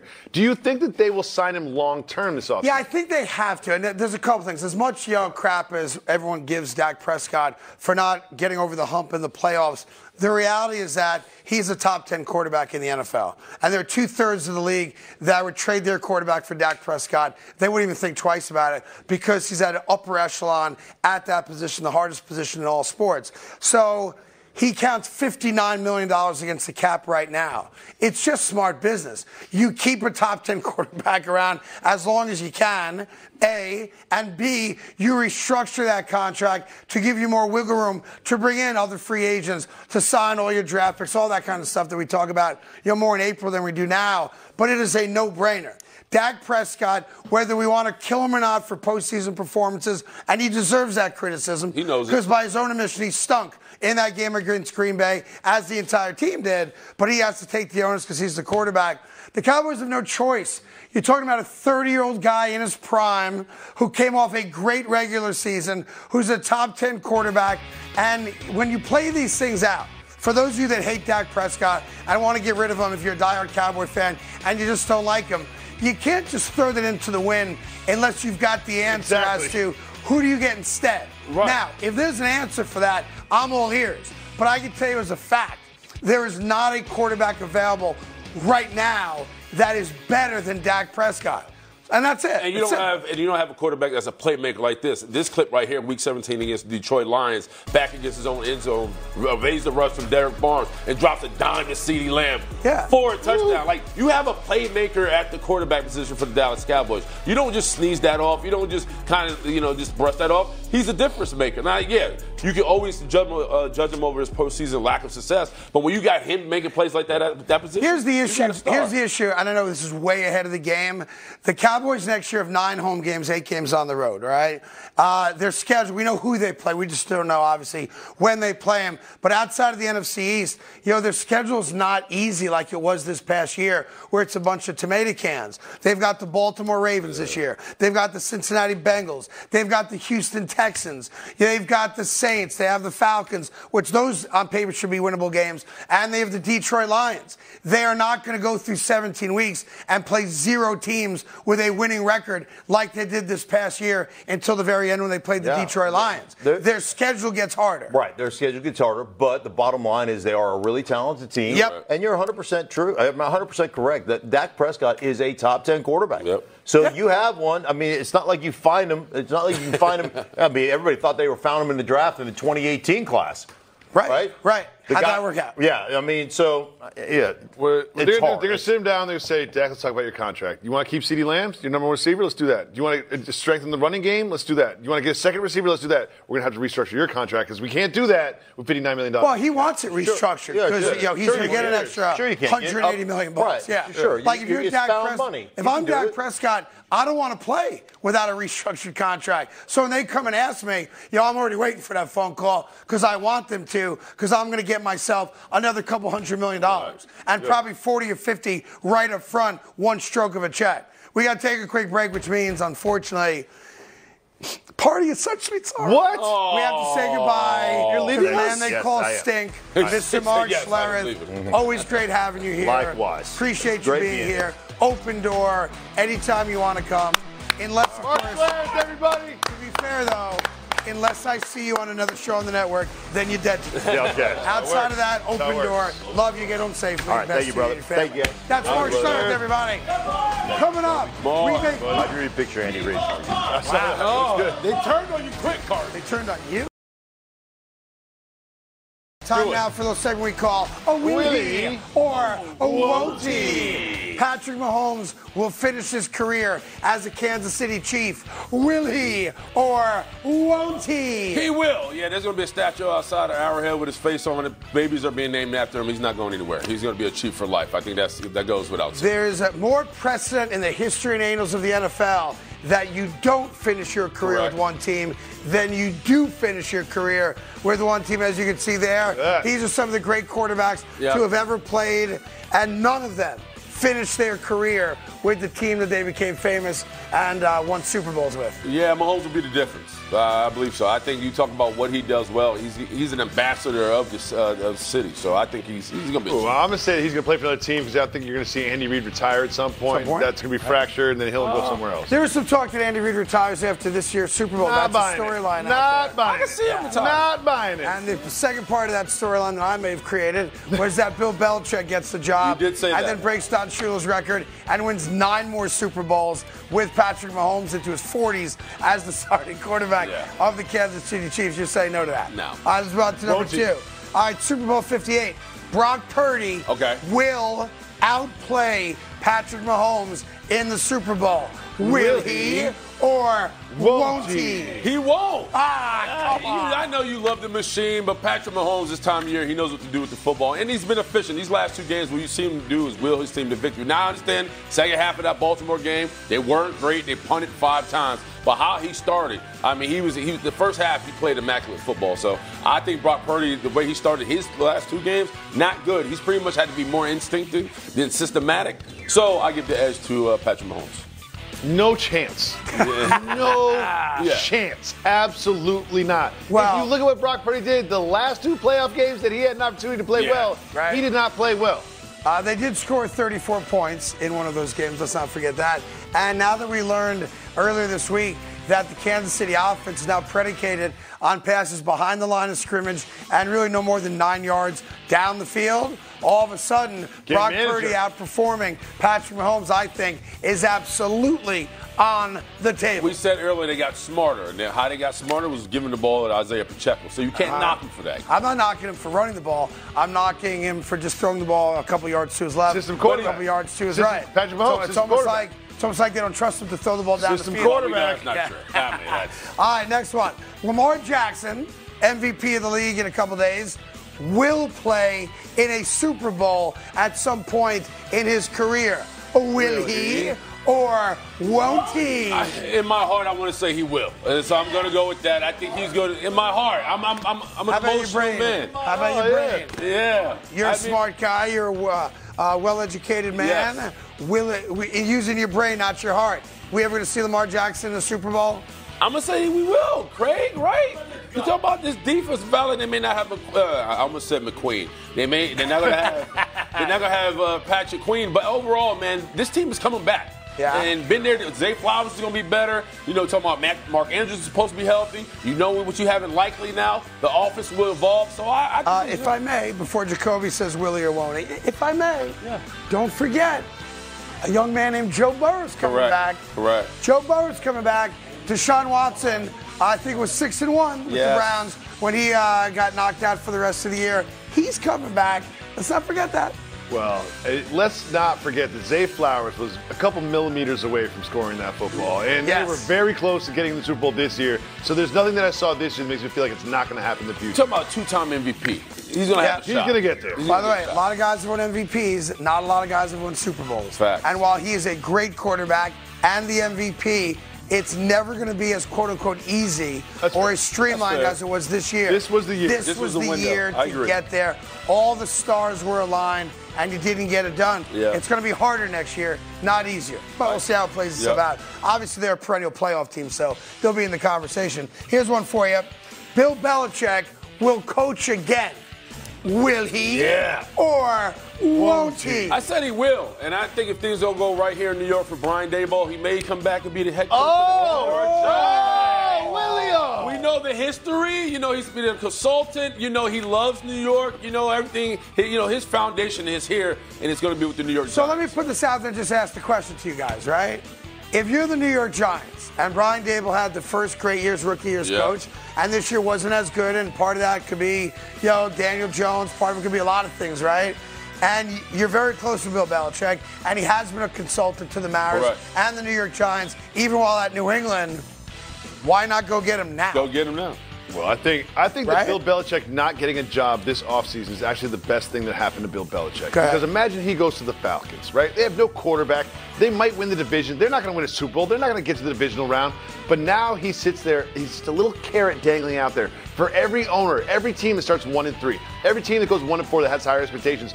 There's a Bill Belichick out there. Yes. And I feel like you make a, send a couple texts, make a couple phone calls, and next thing you know, you could see a coach like Brian Daboll, who's respected, who has won in the past, might be out because you have Belichick to come. I think if you have a guy that you know is great, who has a connection to the organization, Go get him. versus a guy that maybe will become great, you go get great because you got it.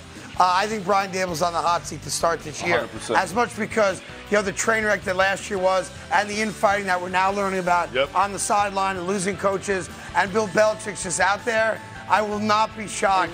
If Belichick doesn't coach this year, it looks like he won't. Right. I will not be shocked if Bill Belichick weasels his way in to the New York Giants job. And let's not forget Love we had Sterling Shepard up Snake here, in the and he talked about you know potentially not playing next year. It wasn't because he was not healthy enough, because he was tired of losing. He he was drafted when Ben McAdoo was here, and they've done nothing since. So you get Bill Belichick, you bring some more hope into that. I bumped into Sterling Shepard a couple days ago at a golf simulator event with Saquon Barkley.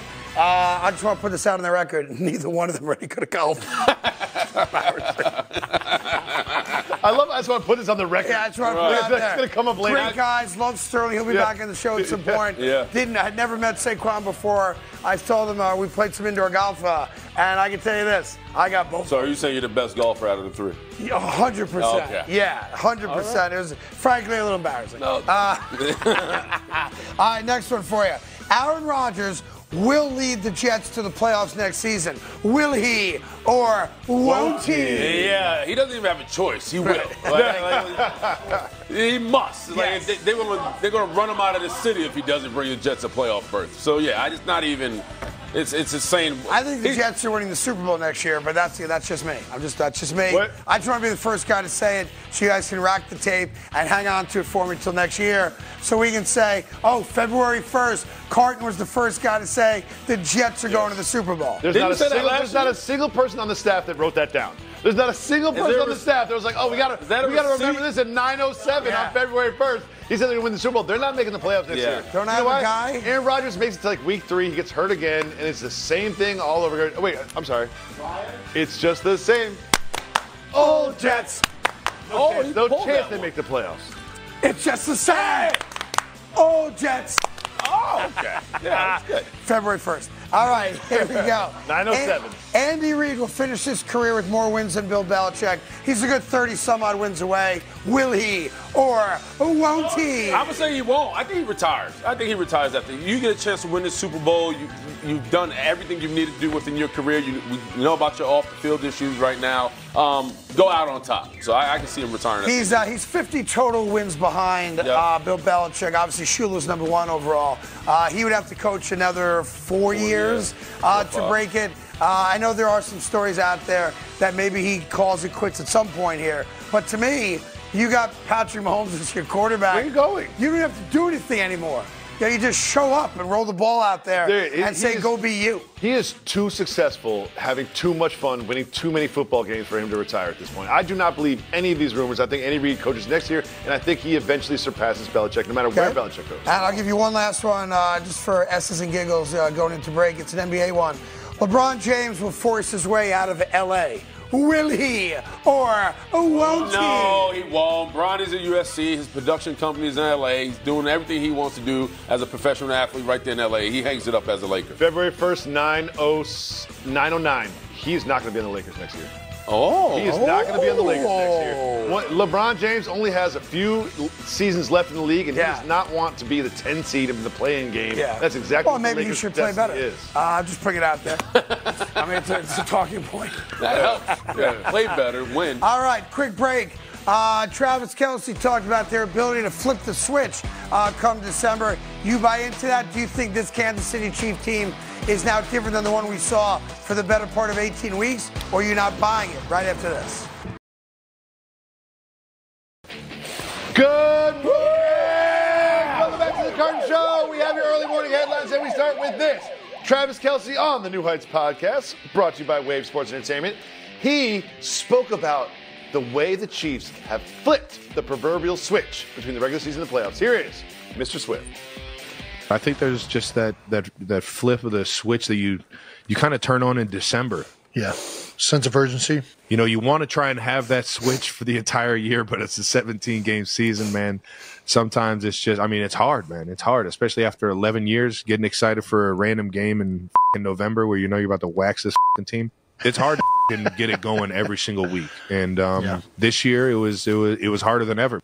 Craig, are you buying the fact that this Chiefs team we're watching in the playoffs is a completely different team than the one we saw in the regular No, season? No, because I don't think they are. I think uh, we're, we're celebrating them like it's the Chiefs of a couple years ago, and I just don't think they are. You know, they know how to win. I'll give them that for sure. And I think he's speaking for himself there, where, Yeah. hey, if you want to know why I only had three catches in a game uh, before Thanksgiving, because I don't really give a damn.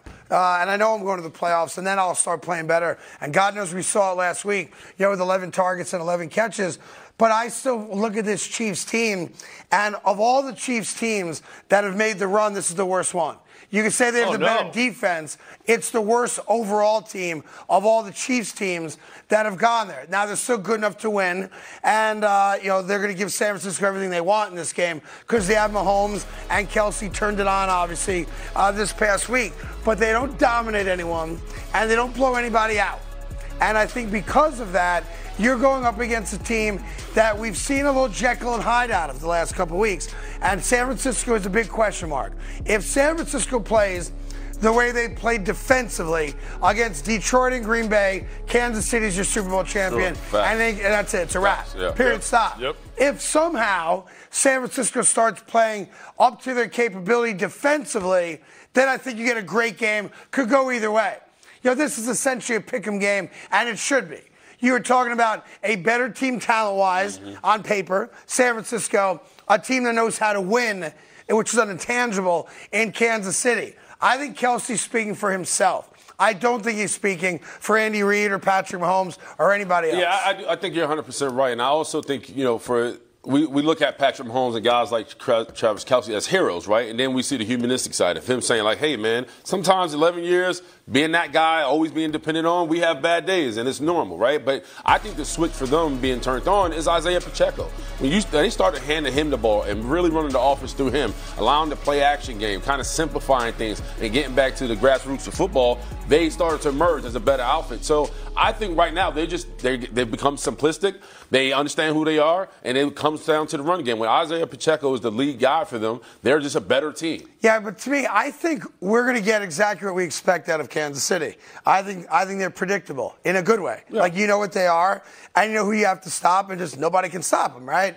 San Francisco's the bigger question mark because we saw Brock Purdy struggle against Green Bay for three Yeah. quarters. We saw him struggle in the first half, of course, against Detroit. We saw that vaunted, you know, uh, San Francisco defense. Throwing it Yo, around. Where's Chase Young? Yeah. Does he play football anymore? You know, how come they haven't dominated with their front four? So I think San Francisco comes in more talented on paper, but a bigger question mark as to what we're going to get. If that defense plays the way they played and Brock Purdy is struggling for the first 30 minutes of football, Kansas City is going to score three touchdowns. No question. You know, that being said, I think the expectation should be that San Francisco plays a lot better than they played in the last two the, games. But the question is, why have the last two weeks they started out so bad? Great question. And like, because what we were told, especially having the, the, the bye week for them, that they were prepared. Brock Yeah. was prepared. Everything was ready Not to go. Not just that, they struggled. I'm going to say this with you know, with all due respect. Yeah, yeah. Right. With all due respect, this top five San Francisco defense looked terrible against Jordan Love and against Jared Goff. Yeah. Now, say what you want about the seasons they had. I don't want to take anything away from them. They played really good football. Week 12 on, you know, Jordan Love was a rock star, and Jared Goff's been great. But San Francisco's supposed to have a Ravens-esque defense. Correct. And they let Jordan Love with a no-name wide receiving core and Jared Goff with one main guy and Amon St. Brown dominate them for a half plus. If they do that against that guy, meaning uh, Patrick Mahomes, they're in trouble. and the Chiefs, yeah, I was going to say the Chiefs have an offense line to do that. That's what I was going to say. One thing that the Chiefs have done, and what is Andy Reid always good at? Wins after a bye week. Yes, You've got a he's bye the week. best ever. What else is Andy Reid always good at? Specifically in the AFC Championship game, that first drive, those Yeah. 15 scripted plays that he has, that seven minute drive, Yeah. it got in Baltimore's head. It made them get out of what they do. They weren't running the ball. And I expect the same thing to happen. So when you talk about the switch being flipped, Yeah. that's one thing. I just think that it, I think that you hit the nail on the head. I think that he's saying is revisionist history about himself. Yeah, Oh yeah. he's talking about I wasn't himself. good to the regular season. I happened to be good the last couple of games, but Yeah. I expect the Andy Reid script and the start of the game and that first drive to really dictate what happens in So the here- here's an interesting question for you. Uh, we'll play from both sides. Start with San Francisco. If you win the toss, do you put the Kansas City offense on the field? No. Because of what you just said, Kansas City better than any other team scoring a touchdown on the opening drive. Yeah. That's what they do, right? So do you put your over. defense on the field so you get the second half possession to start, and tell your defense if you stop them on the first drive, we can win the game right then and there. No. No. So no. you don't. Give So me the ball. if you're San Fran and you win the toss, you're putting your offense Most on people the field. always defer, and I totally understand Yeah. that. But because of what I just said, because of the scripted plays, because they always start hot, because of Andy Reid, because of the bye week, because of all those reasons, Patrick Mahomes, I want the ball first. The reason I throw my defense out there first because I feel like through the last two games, that's the team that needed to spark, right? Okay. They have to come out high. I think when you're a defense in a big time game, you have to set the tone. Okay. And this is when you lean on Bosa, Fred Warner, and those So guys. now flip the script. If you're Kansas City and you win the toss, what do you what def, what what do you put out there first? I'll put them, out, give them the ball. I- That's how it happened with the Ravens. The Ravens Yeah. were three and out. no, I'm, That's right. going, I'm going my defense. Right. I- yeah, I'm telling you. You're putting your defense out the I'm- yeah, Uh, it's an out there. interesting choice Yeah. because of what's happened the last couple weeks. The only thing I'll say about San Francisco is that maybe they learned something about themselves where if they do go down early, they're not going to panic because. Man, we were down early against Yeah. down 17 Right. against Detroit. We were down obviously against Green Bay. We know we can come back. So maybe those two games help them. If Kansas City comes out of the gate, scores that quick touchdown, has the long drive, there's no It, panic. it can't go worse than it did in the NFC Championship. I agree. It Yeah, but- cannot go worse. But at the same time, like Andy Reid's not going to make the bonehead decisions that Dan Campbell. Also true. Like that's not just not going to happen. There's something that needs to be taken into account. Now, I know you guys don't pay that much attention to these sort of things, but there's an X factor in the Super Bowl that no one is talking about. Oh, what are we doing right now? The moon. the moon. It is a waxing crescent moon. And in a waxing crescent moon, out of 20 times the Chiefs have played, in the Mahomes era, Yeah. they're 19 and 1. Wow. Why even play the game? That's, uh, Look at that. You see that waxing crescent? You see that curve? You see that? That's waxing crescent moon. the devil's Chiefs are 19 and 1.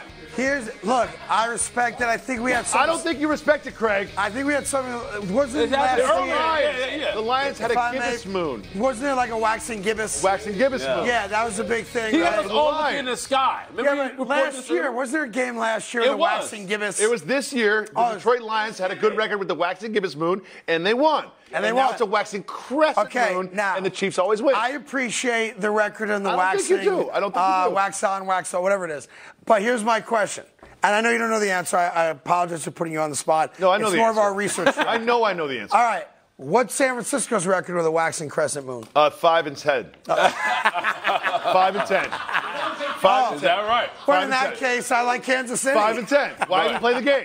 Why? Waxing crescent moon. Yeah. How long is this moon crescent for?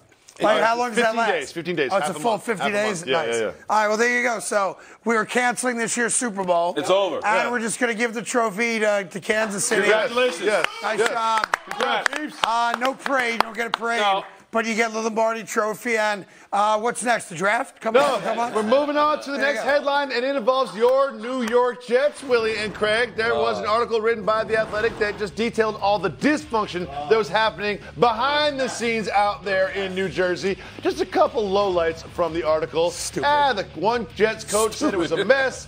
Another AFC GM said that Rodgers is running the show, and Nathaniel Hackett said the plays are whatever Aaron wants. I'm gonna tell you what pissed me off that came out. There was, Tell us, there- Willie. There was, there was another uh, piece of that that he said uh, Robert Saleh was going around the locker room, but potentially wanted to take the guys' phones because of uh, the assistant leak. coach's phone. Yeah. So, Yes. Real quick.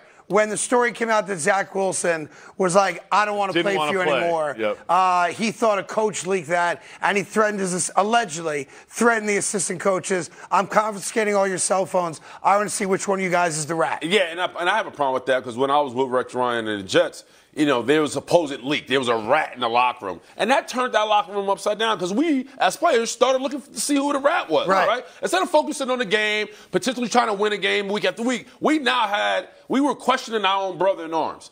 And that's toxic, man. You know what I mean? So the fact that if this was a thing or not the thing is irrelevant. The fact that it's the Jets, once again, have to question their own is a big sign of dysfunction. You should never have to question people you go to Greg, battle I have a question for you, right? Because I think if you go to any team that won six or less, they're going to have similar stories from the locker room. Do you think this is Jets specific, or is this just what happens when you lose? This is New York specific, where you know people talk about New York teams just differently than other teams.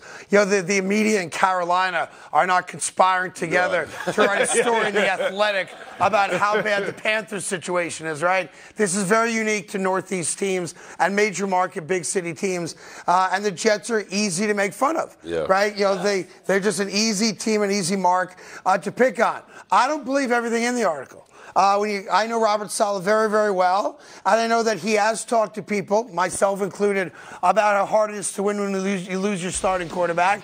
So I believe that part of it because I've had those conversations with him. You know, when you lose Aaron Rodgers and your GM didn't get you a qualified backup, and now you're asked to go in big games against really good teams, you're playing shorthanded. Yeah. Right? Nathaniel Hackett was brought in not to be the coordinator for Zach Wilson, but to be the coordinator for Aaron Rodgers. Now, you also have to, to be fair, and I will be critical of Robert for this and Nathaniel Hackett for this.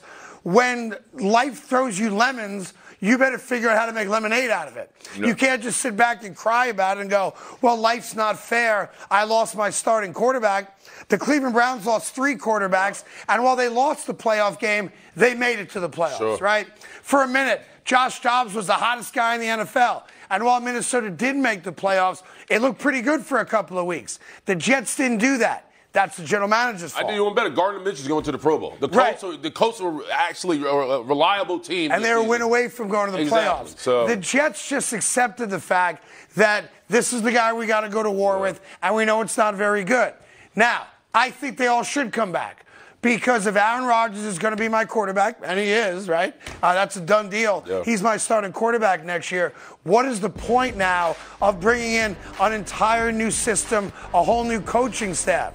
Because the reality is this Make all the fun you want of the Jets. We deserve it in the moment.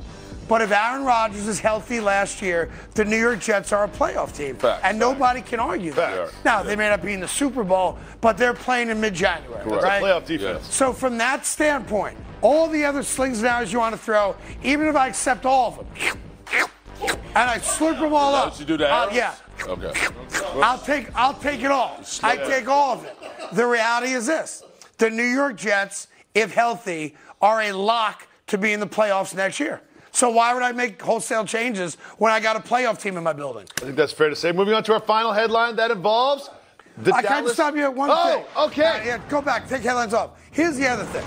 I don't know. Take that crap off. I oh, yeah, it's fine. I don't know if if Robert Saleh did that or not. You know, the notion of you know threatening to take his Sounds assistant odd. coach's cell odd. phones.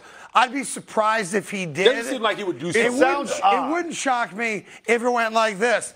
Man, don't make me start checking cell phones for a rat around here. And one of those guys that's pissed off or has a connection to reporters like, can you believe he threatened to take our cell phones? I don't believe for a minute that Robert Saleh told his entire coaching staff because he picked every one of them. Didn't happen. They're all his guys. Did not happen. And said nonsense. to a grown man, watch how this goes. We're in a role play here. Let's do it. Give me your cell phone. No. Right? Yeah, let me check who you've been texting. You're like, oh, you said yes. Yeah. No, I'm Tom, I'm, Tom, I'm Tom Brady with the phone. You I'm got Tom Brady. you- I don't know what you're talking about. You cell got nothing I to don't have hide. a cell phone. Right. Hey, Yeah, yeah, uh, yeah, are you a rat? Show me your cell phone. Yeah, You're like, I'm, oh, I'm oh, a grown man. oh, uh, Yeah, yeah. 0808 is my Yeah. passcode. Here you go. sir. Yeah, yeah. Although, Yeah. Will and I do have experience. There are people every now and then that do ask to see it. So, Yeah. yes, honey. Take a Yeah. look. Yeah.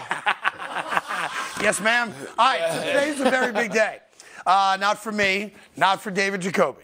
Today's a very big day because 15 years ago today, do you have any idea what happened? No, sir. No, sir. 15 years ago today, Santonio. Oh! Yeah, Willie. Here we go. Yeah. Here we go. Yeah! Willie Colon won his first and only Super Bowl. And here's the thing we're going to say publicly for the first time. We all know something about this game.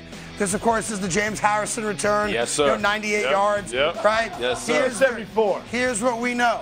Santonio Holmes did not get that second toe down. No, he did. Stop it. Yes, he Here's did. what we Do it, Craig. Oh, know. Why do this, Craig? Santonio Holmes never got that second foot down. Right ball. Hey. No, Yes, that should not have been a touchdown. Oh, please. If you look at the still shot, I thought we were it, celebrating Willie. Right. not to be a bad guy. I thought we were celebrating Willie. you were gifted. You had to make the negative. You know, gifted. You got won the Super Bowl. You put a big old asterisk There it. we go. Anyhow, Congratulations, congratulations. 15 Congratulations, years ago William. today, I was in the building for it. He won it. Have a great day. We'll see you tomorrow.